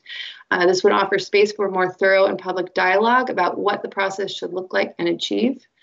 Um, and then, you know, so we'll, I think we'll address that, both of those through our um, our reflections in the next few slides. Um, but we just wanted to recognize some other public comment we received, um, you know, verbally at the last meeting. Um, there were some comments about uh, conducting a system-wide capacity study um, before we start engaging in this work uh, to project demand for services. Um, and then, you know, I think there was recognition that this framework was very robust, very uh, detailed, and represents an ideal, but hospitals may not be tracking information at this level of detail. So that was um, an important consideration. So, you know, just to kind of reflect on what we've heard, I think, you know, staff stand by the spirit and the timeliness of this framework. Um, we still think it's really important. You know, many of the red flags have, have been raised, and, and we think we need to continue doing this work, but recognize um, and, and, you know, take seriously the comments that were made about how we actually move forward. Um, and, you know, we, we really and the reason why we stand by this is really ensuring the provision of essential services in our communities as we move away from fee for service and toward value based care. You know, you know, there's the federal government is not moving away from value based care, um, and if, if, we don't prepare now, you know, we're not going to be in very good shape. Um, you know, and all Vermont hospitals should be in scope. Um, this is a question about a broader system and is not about one or two hospitals. It's really about all of our Vermont hospitals. Um, I think there was another question that um, had been circulated about how the board will use the details of this framework. So just so we're very clear, I think you know having this more nuanced information will allow the board to make better decisions as it relates to hospital budgets and determinations of NPR and change in commercial charges. If, if the board can understand um, the challenges hospitals are facing and where cross subsidization of service lines is happening. You know, maybe there's a rationale for providing um, change in charges in one area that might not make sense in another. But without this information, it's it's hard to justify um, such unsustainable increases, at least until we can find some more systemic um, answers to, to these challenges. Um, and then finally, the lessons learned through the details of this framework could, you know, could inform the development of a second proposal. We're not the only signatories on this model, but I think having more information will allow us um, to have those conversations and think critically about what's working or not working um, in our current uh, health reform effort. Um, and then two final um, reflections. You know, I think we recognize the variation in hospital technology and resources, and we look forward to working with stakeholders to understand these constraints and the nuances of capacity planning and service optimization at each hospital. So, you know, we understand that not everyone has a cost accounting system. We understand that there are um, various allocation methods which make service line analysis challenging, but I think we need to understand that. And if hospitals aren't able to produce the level of detail that we're hoping to get out of this exercise, that we have, um, you know, a robust conversation about a proxy or, or, or understanding how decisions are made on a local level. I think that's really the, the gist at the end of the day. Um, and then, you know, I think we agree that a system-wide capacity study um, recognizing demographics and population dynamics is an important companion um, analysis. But, you know, I think we can't forget the work that we're already doing at the board, which is um, around HRAP, um, Health Resource Allocation Plan, understanding, you know, the resources on a community level. This isn't just a facility analysis. This is really about what's available to the community and where the gaps in might be. Um, and gaps and you know capacity might be but um, i think you know if there if there is an opportunity to do a capacity study in a way that um, doesn't duplicate what we're already doing i think that's something we're certainly um, looking into so you know the proposed timeline we we took into consideration um, kind of the needs that that we have identified given how these data will be used um, as well as the feedback um, from our stakeholders that the proposed timeline is is unrealistic. And I think we have to also recognize here this is again just still a proposed timeline that you know certainly with any COVID resurgence um, or any attention needs to be you know turned to the immediate needs of um, serving you know on the front line that is is the most important. Um, however, I, I, think we need to recognize that we need to start working now if we're going to affect our FY 2022 hospital budget process, um, and that if we're going to have any insights about hospital, you know, sustainability in order to inform our All Payer Model 2.0 proposal development, our agreement requires that we submit a proposal to CMMI um, December of 2021. So that's really just around the corner. And I think starting this conversation now will allow us to have a robust stakeholder process throughout the course of the next year or so as we kind of um, start putting together more details of what that might look like. Um, so, with all of those caveats, and just a reminder that phase one, the assessment of hospital financial health, is really where GMCB will be doing most of the heavy lifting there, um, providing the the data, the analysis for hospitals to then provide commentary back. Um, and we're proposing around, you know, the end of December um, 2020. Um, phase two, ensuring the provision of essential services would, you know, we would be great if we could have that back sometime in March. Um, that way, it could inform the hospital budget guidance, and those two pieces would would be the main drivers of of that guidance. Um, and then phase three, the sustainability of other services um, as well as you know what that would be in May, along with aligned with the non-financial reporting, or could be embedded within that, or um, we can talk about that in more detail. But uh, phase four would be planning you know for sustainability in a value-based world bringing all that together drawing these larger insights and then having you know a, a more robust conversation about what what that experience has been like for providers who have participated in healthcare reform and that we would love um, to have that information back by you know by July of next year. So that would be in line with the hospital budget process for 2022. Um, in terms of our proposed next steps, um, so GMCB staff would continue examining the nexus between sustainability planning, um, as we've outlined these kind of four main um, stages and HRAP and exploring the system-wide capacity study. So making sure that you know if we you know if we do kind of pursue a, a, capacity study that a it's asking the right questions about the community level and b that it doesn't duplicate work that we're already doing. And then uh, GMCB staff to work with stakeholders to continue understanding the hospital specific reporting constraints. So as mentioned before, I think, you know, we recognize that all, you know, all hospitals have different systems and there's varying levels of capability for um, tracking and reporting on certain information. So I think we need to understand that at a more detailed level. Um, and then you know continuing identifying and documenting opportunities for continuous improvement to support our proposal development for 2.0 um, along with our signatories. So again you know recognizing that we're not the only ones but we are one of um, one of three and that we have um, our duty to bring forward the best information we have to make that successful So I think, you know, taking all of this together, um, the potential board vote today um, could be to approve the outline of the framework. So those four stages, the adjusted timeline, which are all approximate and subject to, you know, anything that were to happen with COVID over the next few months. Um, but this would allow staff to fine tune feasible deliverables for each phase and begin any necessary data collection analysis. And, and we think about that. We, you know, we're, it's really about, um, you know, HRAP and, and what we already kind of have access to.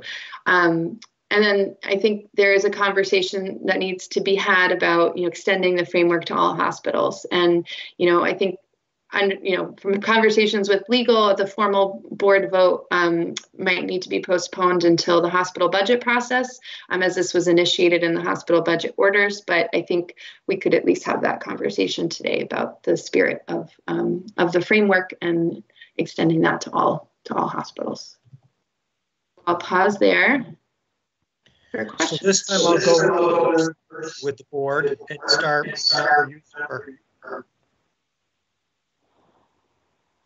A lot of echo there. I think someone's not on mute. Please mute yourself if you're not. Yeah, that might be helpful now. Um, I don't have any specific questions. Um, you know, I think this obviously is happening a little bit, little bit later than what we had hoped for, but because of what's going on with COVID and everything else, I mean, I think we have to have to delay the process. Um, I would just really, you know, reiterate that, um, you know, the goal is to have a sustainable system, and that, you know, for for my time on the board, what I've seen is, you know, many hospitals continuing to miss their top line, continuing to lose money, and relying predominantly on commercial rate to try to make up the difference, and it still doesn't uh, work because they're we have optimistic top line and and missing on the bottom line. So I mean I think it's really important that we get to a place where we have a sustainable system and looking at um, what's done at each hospital and then the quality metrics as well as um, financial will be important. Thank you for this. Somebody's still not on mute. Yeah, somebody's still not muting themselves. I'm going to mute everyone. This is Abigail. Um, so if you are making a comment through your phone, just remember to hit star six. Yeah, it almost sounds like a radio or a television set in the background.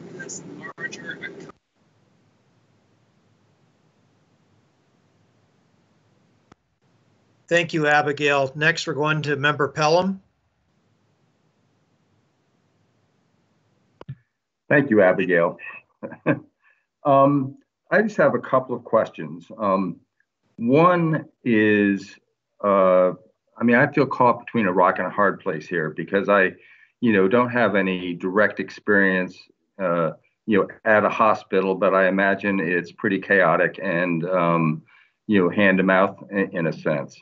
On the other hand, I feel the sustainability issue, um, especially as it rate, uh, relates to the cost shift and payer mix, is vitally important. Um, pre COVID, um, you know, we had eight of 14 hospitals in the red in 20 at the end of 2018 at, at, in terms of operating margin, and seven of 14 at the end of 2019, with one hospital filing for bankruptcy. So to me, there is this isn't an academic exercise. There's a real world going on out there, um, and a lot of uh, you know uh, hospital margins are are are thin or non-existent. Um, and I, I use the statistic um, and because I think it's so powerful a point is that if you go back to slide five uh, really quickly.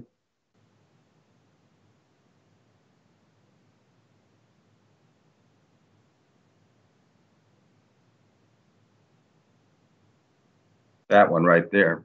If you add up all of those numbers uh, over the five years, they come to $329.2 million you know, uh, of, of margin um, over the five year period. Of that $329.2 million, 295.8 of it went to one hospital. And that to me is uh, a, uh, uh, an indication of the of the failure system wide of um, of fee for service, and and so the transition from where we are in 2019 to where we want to be in terms of all payer model uh, 2.0 is something that is is is going to be you know uh, take a lot of effort and, and a lot of co- collaboration.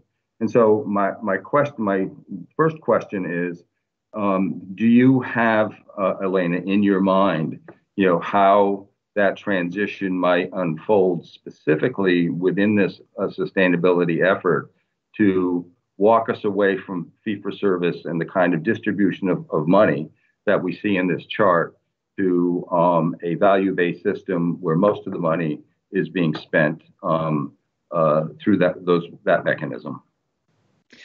I, I think that's a, a good question, um, Tom. I, I don't think we have anything like that yet. I think, you know, we're working, like I said, we're one of, of three signatories, so we can't do this alone. I think the other missing pieces are our providers, right? I, you know, we have to engage in a robust stakeholder process if we're going to build a proposal that makes sense.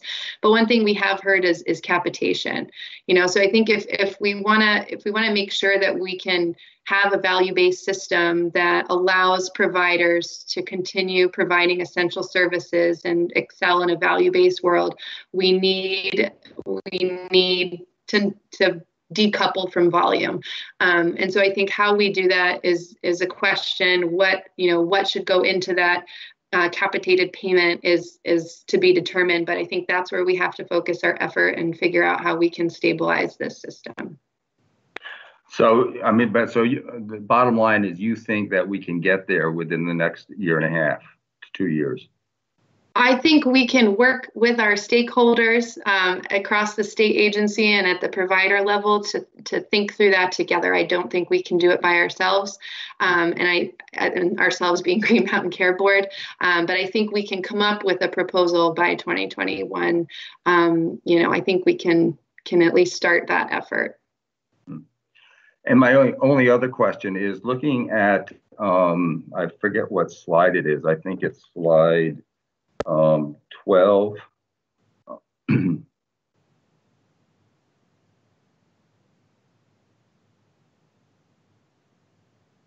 and looking at, yes, this framework. So phase one was the financial health of hospitals. And so I'm trying to think near term, next six months. Is there going to be a, a second wave in Vermont? Is there not going to be a second wave? We've got college kids coming back. We got K through 12 uh, opening up, um, but we've also done incredibly well, and every Vermonter, I think, should be proud of, of how well they've done, you know, during this. But it seems to me that most of the work in phase one will be done by the Green Mountain Care Board staff. It's not there isn't a lot of put, you know, um, uh, onto hospitals uh, between now and uh, December 20th. Um, and uh, and obviously, if there is a second wave in Vermont, um, all bets are off. I think uh, in in a, in a lot of in a lot of places. But um, but w- would you share that opinion that most of the heavy lifting in phase one is going to be done by the Green Mountain Care Board staff? Yes, I would, and I think you know, um, yeah, yes, I'll just leave it there. Yeah, I think we're, you know, as I mentioned, we will be doing all of that analysis. We will be compiling that data. And I think where we're asking for the hospital's participation is really to help us understand the barriers um, or why, you know, why they're in this certain level of risk. So providing additional, um, you know, color to that financial Thank analysis. Thank you, Elena. No problem. Okay, member Lunge. Thank you. Um, the I wanted to just comment on the HRAP connection because we did do an initial collection of data in HRAP from hospitals, although um, the team who, which the, the team of Just Mandisible, um, the team of one or two, um, I think we had another staff member help as well, um, did, there were some holes in that data. So I do think it's important for for the teams to work closely together. So we're not doing multiple data requests, uh, but we do need to clean up the remaining HRAP data, and I do think they are well crosswalked. So I don't think that's a, a difficult task, but um, something that I think is really important, and that would really be reflected of the second and third pieces of the framework, I would say. Um, I just wanted to make that comment about HRAP. Um, on the financial health, when I went back and looked at the financial health dashboard, it looked like a, a number of those indicators are things that we are already collecting in the hospital budget process. And so, um, to the extent that the hospital is reacting to that information in their presentation in next month, or uh, actually this month, it's already August, isn't it? Um, I think we should be trying to pull that information as well out of those budget presentations and transcripts um, so that we're not asking them to respond again to something that they already talked about now. Um, but overall, I, I, those were really my couple of comments. Um, I do think, I do like that um, the timeline. I do think there needs to be some flexibility in the timeline to react to circumstances. I would note, though, that um, on on trying to figure out how to ensure that this information and process is we're learning from it for moving forward with APM 2.0 on top of the submission of a proposal and then the negotiation, there's also an 18 month Medicare implementation timeline. So, to the extent um, that we think there are components of changes to the payment methodology, we need to keep that in mind. And so, sooner the better in that sense, because it uh, the the Medicare apparatus is not easy to move, and as we have already seen uh, with some of the new payment models, um, they do have operational hiccups along the way, which we should also expect. So I guess those were my top of mind comments. Yeah, thank you, Robin. No, those are very helpful. I think, um, you know, point points one, two, and three, well taken. Um, you know, we will, we have intended to go back and do a deeper dive with HRAP. Um, and then I think that's a great idea. You know, we can just you know, copy paste what we learned from the hospital budget process and kind of say, you know, has has anything changed? If not, you know, thank you, and then here are the remaining items to alleviate that administrative burden. But um, yes, on CMS, you know, the 18 month, especially if we're, you know, trying to do a capitated payment that we don't already have in place here, that might be, um, you know, that whole 18 month period. Thank you. Thank you, Robin. Member Holmes. I think you're on mute, Jess.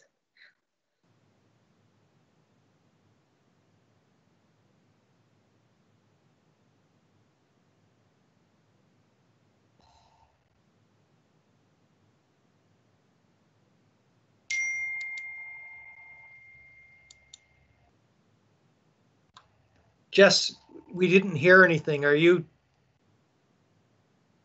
we still can't hear you.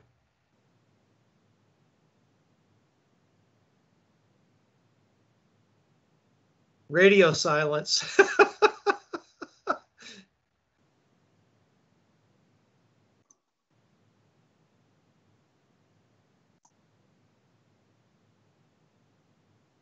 Can you call in, Jess? Can can Abigail unmute her? Oh yeah, it's another. So Abigail sent me a text saying I can't unmute her. Can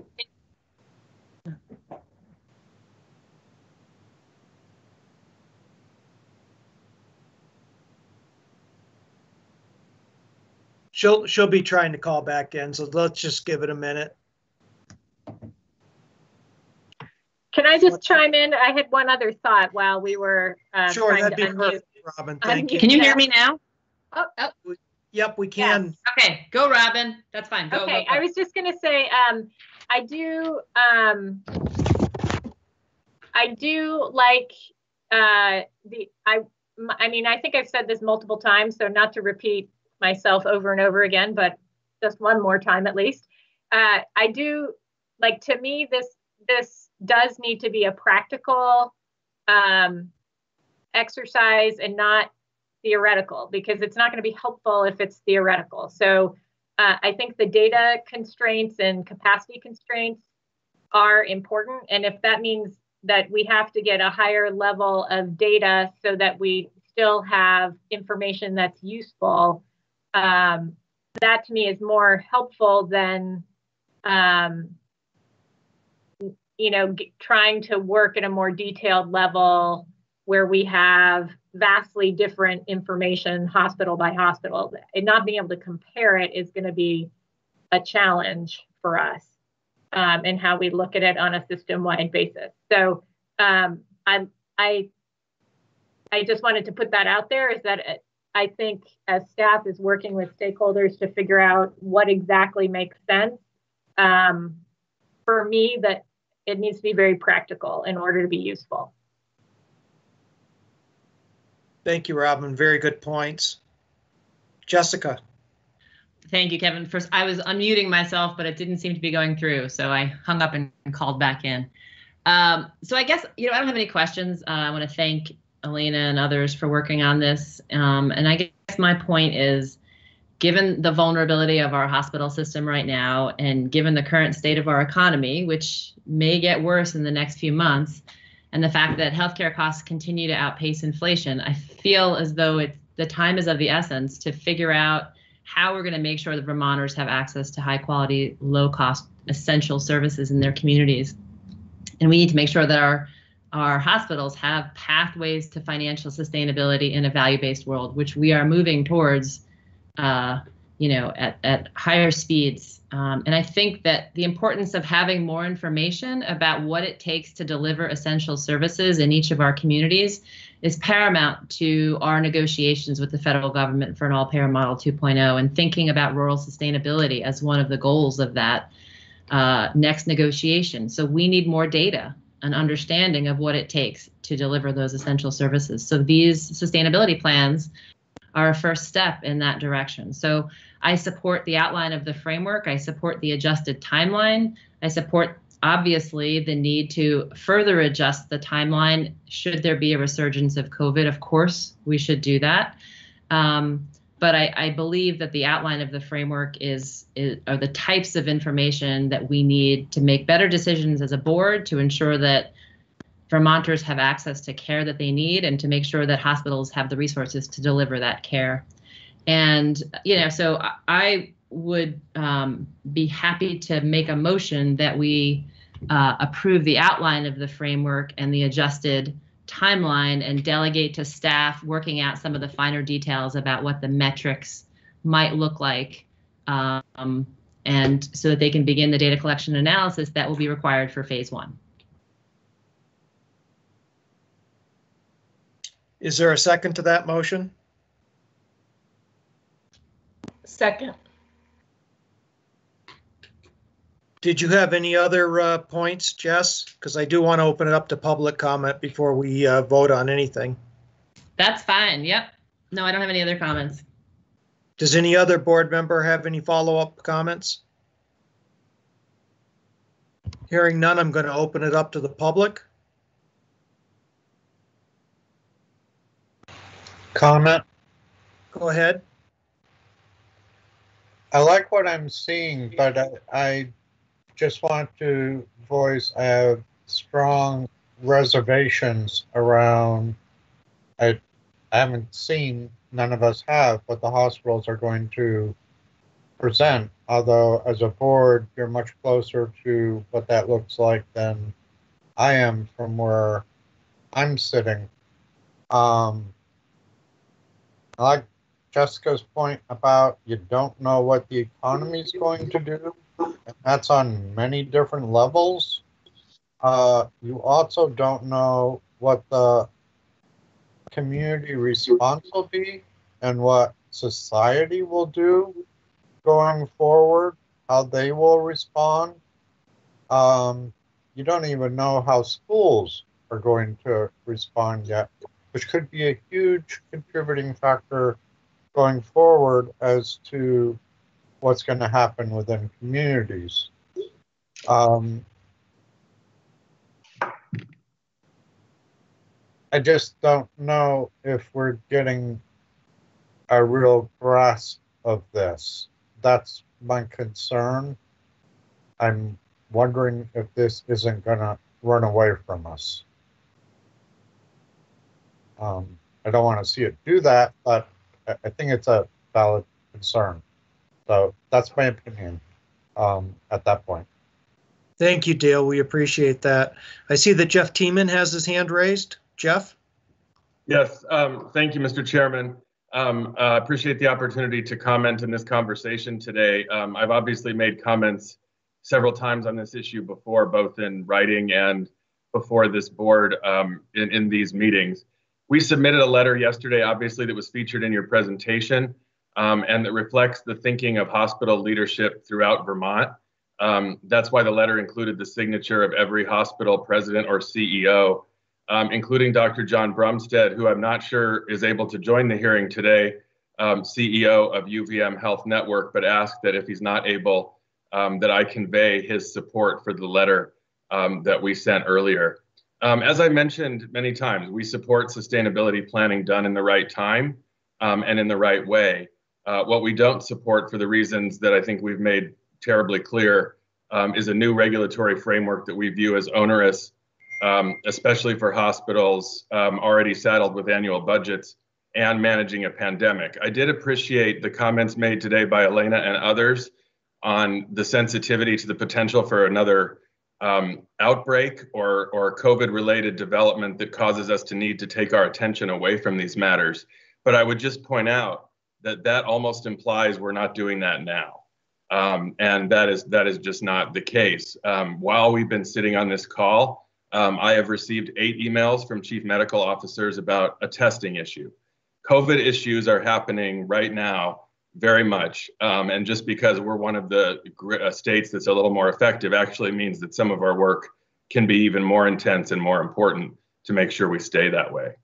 Um, as we said in the letter, um, if sustainability is about health reform, and I think several different purposes and goals were mentioned today and in previous meetings, um, that, that really deserves a separate public dialogue um, that includes more stakeholders because whether we're informing the all payer model or just looking at service optimization around the state, that needs to not just be a hospital conversation. That needs to be a provider, community, um, and government partner and community-based conversation as well. Um, you know, I think when the all-payer model was developed, one of the phrases was that it's provider-led, um, and it's important to distinguish that from being led by um, a regulatory body. Um, and then finally, as Elena pointed out in the sort of statutory justification for this work. Um, a stated goal of GMCB in the statute is to achieve administrative simplification in healthcare financing and delivery. Um, I think it's pretty clear that this kind of framework adds to administrative complexity and cost, um, and therefore goes against GMCB's stated purpose in that sense. Um, I would also just point out from a sort of logistical standpoint that stage four under the revised timeline does appear to take place um, as hospitals would be preparing their their following year's budget. So so still a lot of activity that would be taking place at one time. Um, so with all of that and our letter in the record, um, I thank you for listening. Um, and please know that that the Hospital Association and the hospitals we represent throughout the state um, are committed to getting through COVID, are committed to um, moving to a health system that works effectively for every Vermonter. Um, and with the right goals and the right timetable, I'm confident we can work together toward that goal. Thank you so much for uh, the opportunity to speak today.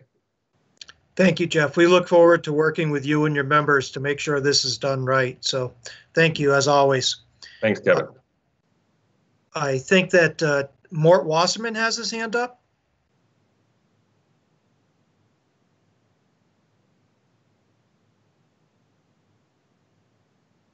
Mort, did you have a question?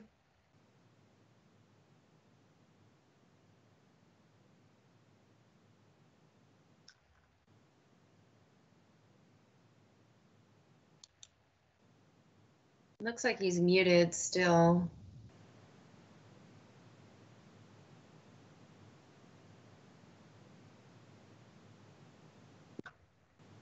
Well, it shows up as Richard. Is that you, Mort? Yeah, it's not. It's not me. I bet it's some other Richard. You know, I go by Mort, Kevin. This is another Richard. That's, uh, yeah, uh, can you hear me? Yeah.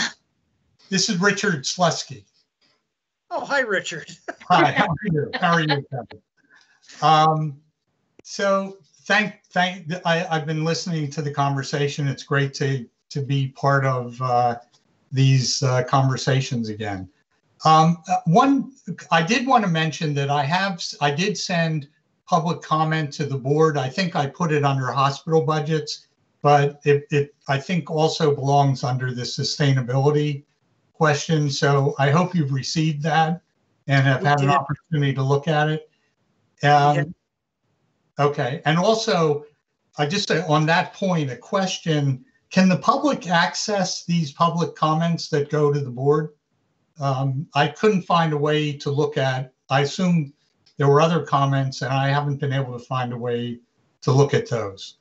So if there is a way, I would hope that that could be accomplished. So I, I'm not sure if Christina is on the call, but if not, Abigail, could you um, provide Richard with a link to the public comments?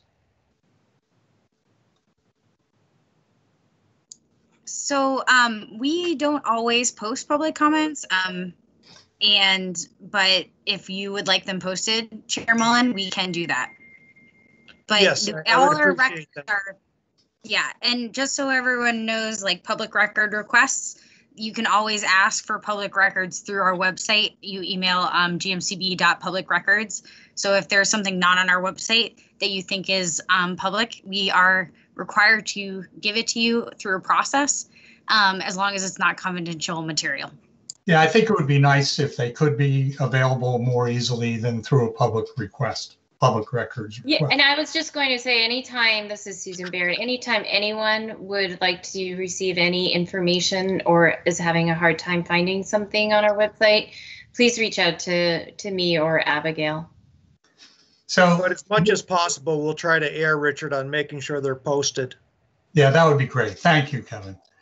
Um, the- I, my, the substance of what I wanted to say, I guess, today is that, um, I, I mean, I, I think, um, well, I, I mean, with all due respect, I think this discussion in some way seems to ignore the fact that we have entered into an agreement for an all-payer model with uh, Medicare.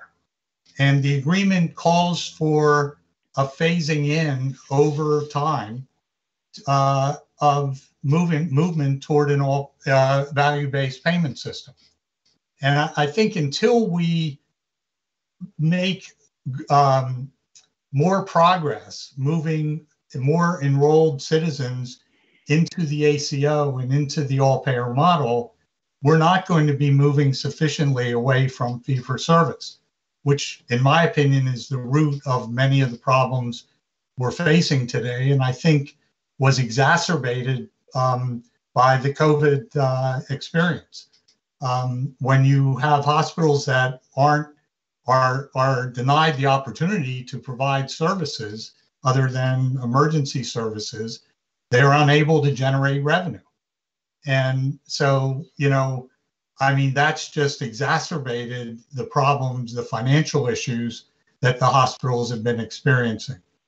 So I think the the faster we can move away from this fee for service model, I think the more opportunity we will have to address the issues that you've been talking about today in terms of the sustainability of the of the uh, health healthcare system. And and the issues that I see in that regard are that you know we have we have hospital employees who are self-insured or hospitals that are in self-insured plans. We have the school system. We have the state employees uh, who are continuing to be in self-insured plans, many of which are not enrolled in the ACO. And there's about 160,000 people, I think, that are in this self-insured um, bubble that you know I, I think need to be encouraged to take advantage of the opportunity to move to what we think is a more efficient and higher quality uh, healthcare system. So, and I think that falls to the Green, Green Mountain Care Board, to the hospitals, and to the administration to to start to, you know, publicly encourage uh, the movement of these individuals or, or these businesses um, to move employees into uh, these systems.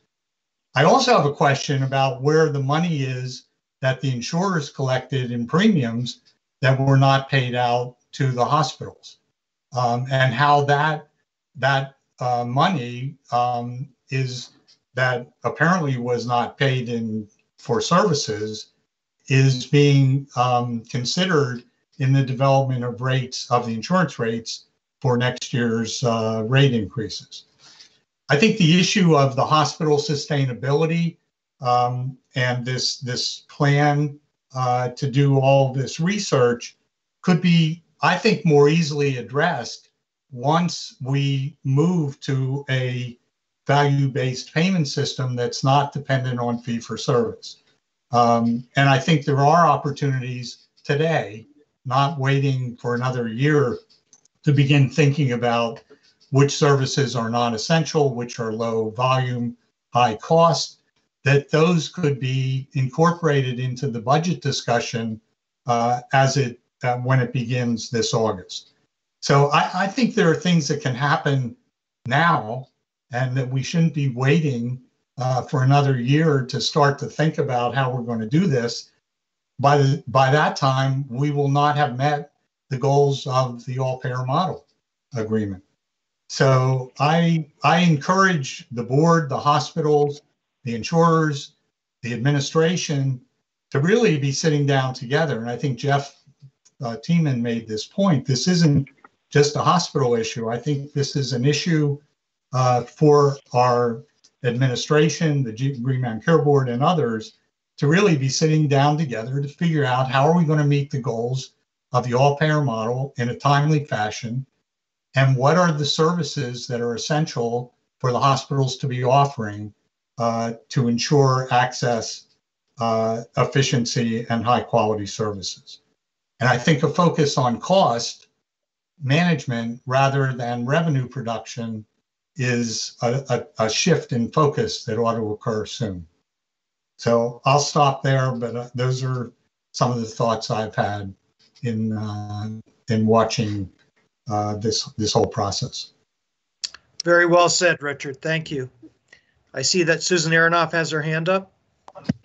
Yeah, so this is just a reminder, Mr. Chair, and I don't know how you've divided the responsibilities between Green Mountain Care Board and Agency of Human Services. But as you work on the next iteration of the all payer model, I hope you keep in mind that there's a statutory requirement that this time around because you have to add the Medicaid funded long term care services that have not yet been part of the financial service targets. Because those have to be added, there was a statutory requirement added that your process in coming up with APM 2.0 has to include the stakeholders of those services who, in the provider led effort, as Mr. Slusky could well attest, uh, were not part of the discussions then. And um, hopefully, we will put, be part of the discussion going forward because to bring up the auditor's report, um, it hasn't yet been shown that the value that there is a value in the all payer model, that there's a return on the investment that exceeds the investment, that the Medicaid losses of over 17 million in 2019 pre-COVID have to get a fair hearing. And it's your job, the Green Mountain Care Board's job, to assure that the costs and benefits outweigh you know that there is a return on investment and if you ever come up with a way to assess that denominator in your last slideshow from last week of the administrative costs versus you know the value of the all payer model. I hope you'll also take into account the areas where the quality has gone down where access has gone down where costs have gone up where the uninsured rate is going up where medicare advantage is going up. Those are all populations that can never be in will always be out.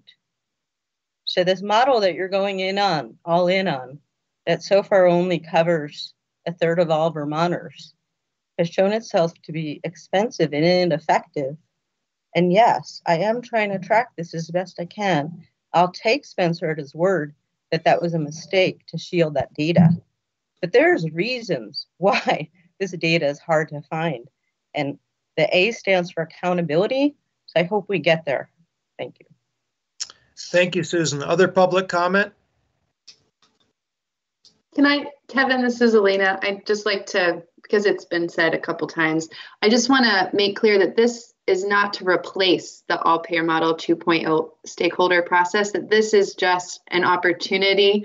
Just want to highlight another input to that process. So, certainly, like I've mentioned before, we are not the only signatories on this model, that this would just be another opportunity to provide some input to that thinking. So, Susan, I think your comments, you know, and and Jeff and everyone else, yes, there will be a robust stakeholder process, and um, we are working on getting that rolled out. Um, which is why we need to also get this rolled out um, so that we can have all the best information as we move forward. Okay, other public comment? Mort Wasserman. Can you hear me? I can, Mort. I saw your hand raised, but I wasn't sure if it was from the earlier. it's hard. It's hard to keep track. So um, there were two very provocative public uh, comments on this issue of sustainability recently. One by Bill Schubart, and one by the estimable Ham Davis, both in uh, I read in Vermont Digger, that really called for either closing hospitals or demanding hospital affiliations. Some really terribly difficult conversations, which are going on right now in this meeting. I hear them, and and all people are of goodwill. I guess my feeling is that you know the Green Mountain Care Board isn't the only player here. It's one major player, but it has a lot in the way of carrots and sticks available to it, I believe. And the board members need to consider where they can best exercise the use of those carrots and sticks as we go forward in uh, a decision making process that is bound to be painful and difficult. The other the other point is that the other power you have because of your the respect that people have for you, and yes, people do respect you, is in the area of moral suasion to work with those folks where your powers do not extend to partner and make things better. And I would love to see a more public discussion by the board. The, the board's website is a very passive entity. All websites are passive.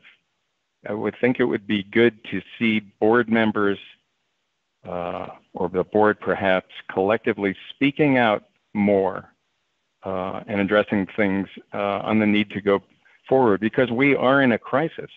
And uh, the the pandemic, the, car, the, the COVID pandemic is an enormous opportunity and it is, uh, it may get in the way of reform, but it actually reveals very clearly where healthcare reform needs to go. That's all. Thank you, Mort. Other public comment?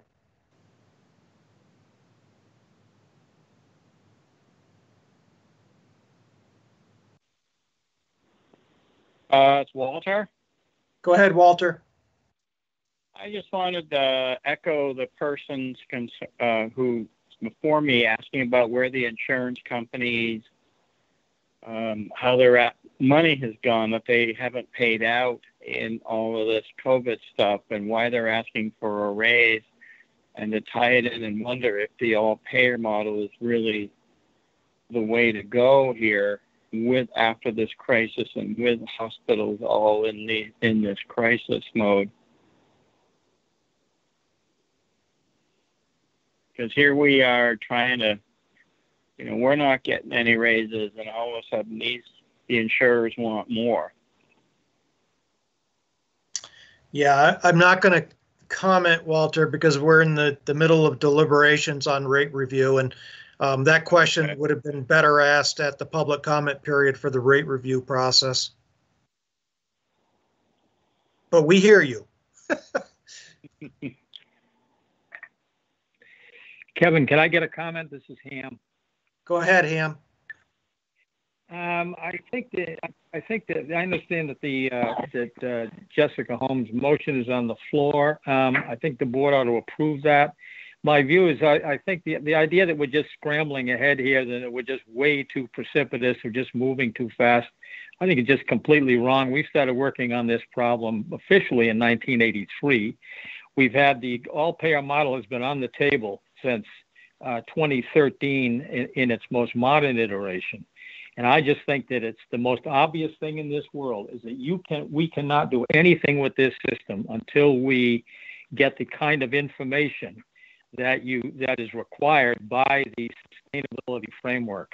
You simply have to know whether the uh, these heavy end, these high end service areas in small hospitals um, make any sense either in volume, whether the volume is enough to maintain medical sharpness, okay? And then whether this, the unit costs make any sense. And in many cases, I'm sure they don't. But let's see the data. Let's see the data. If it's, and and not even the idea that we shouldn't even look, I think, is just a mistake. The second thing is that the whole idea that the that COVID has to stop everything, I, I think that's way overstated. The COVID load in the hospital system has been astonishingly low. Now, I don't mean that the money that they had to give up by closing down specialty services isn't a factor, but a lot of that money has been made up by the federal government, and, and mostly the service levels are back to normal. Even UVM, which was ready to fill up uh, Patrick Gym, had a tiny number. And so the, the reality is the you're going to have to get at this. You're going to have to get at this issue um, and the question is, there'll never be a shortage of reasons to not do it. it. Makes sense to me to go right now. It's not. It's not impossible. And if if we can't figure out the kind of question that whether if we can't even figure out whether uh, on in various areas, there's enough volume for quality. That's the most that's the most basic quality uh, test. The qual- quality systems are really primitive. They, they don't really mean much. We all they do at this point is just fill in boxes. Um, but at the, at the cost level, if we if you can't even figure out whether what you're doing, what your product is, and what how much money you're getting for it doesn't make any sense at all, then you can't do anything. Thanks. Thank you, Ham. And and I hate to come to the defense of the hospitals, but I don't think that the point that was trying to be made was that the, the hospitals were overrun with COVID patients.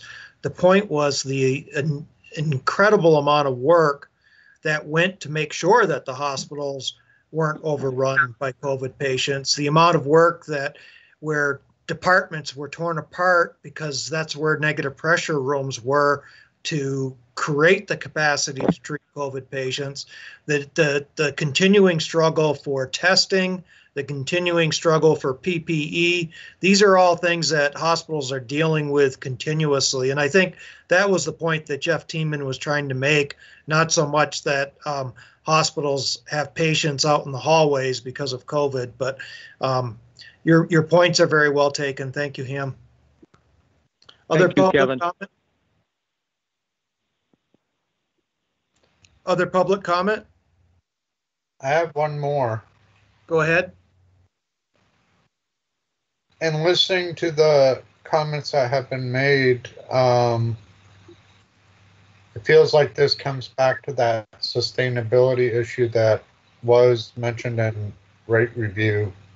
Um, and and I know the board can't comment on this. I'm just commenting that as a reference point, this started coming up then, and I knew it would come up in hospitals. I think there is a much larger discussion. And in fact, schools is coming up in schools, a private school versus a public school. How do you fund a public school? How do you keep it sustainable? Where do the funds come from? It comes from the community. I think there's a much larger conversation that's going to break at some point, or we're in trouble if it doesn't, which is to simply understand systemically that healthcare can't be funded the way in which it is funded, and it can't be funded solely by the state.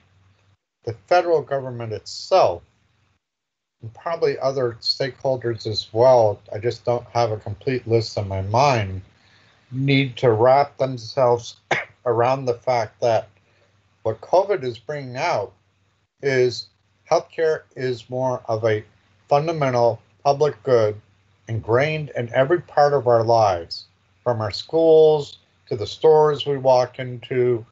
And we need to own it and fund it because it is not solvent as it now is on any level. That is a conversation that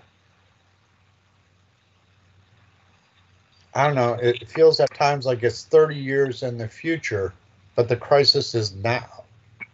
Is now.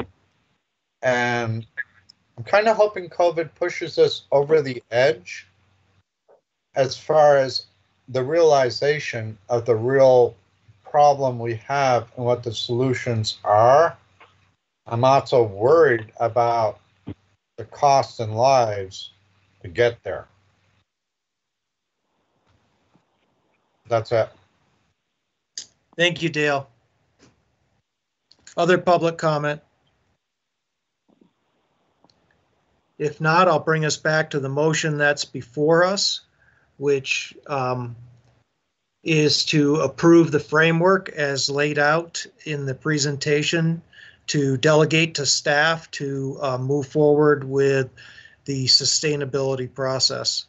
Um, Is there further discussion from the board?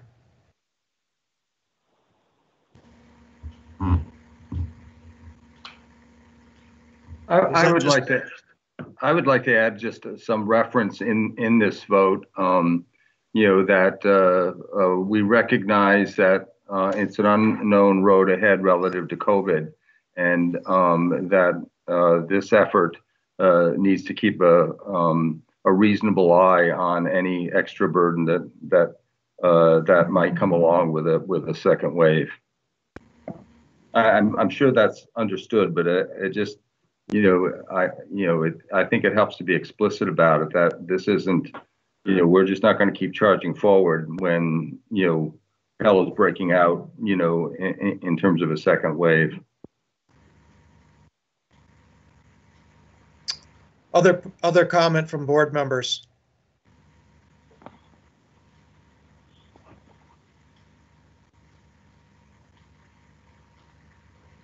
Is Mike Barber on the line?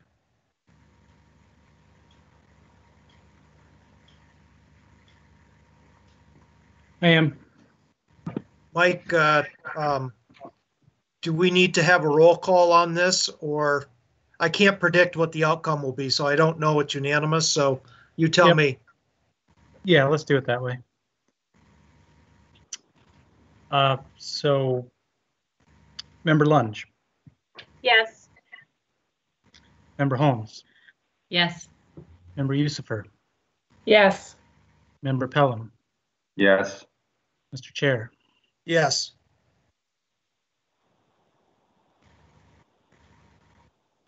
Thank you for that roll call, Mike. Um, And thank you, uh, Elena, Patrick, Jeff, um, for the uh, hard work that's gone into this so far. And um, I look forward to working with um, the hospitals to make sure that this process is done right and that nobody's time is wasted in this process.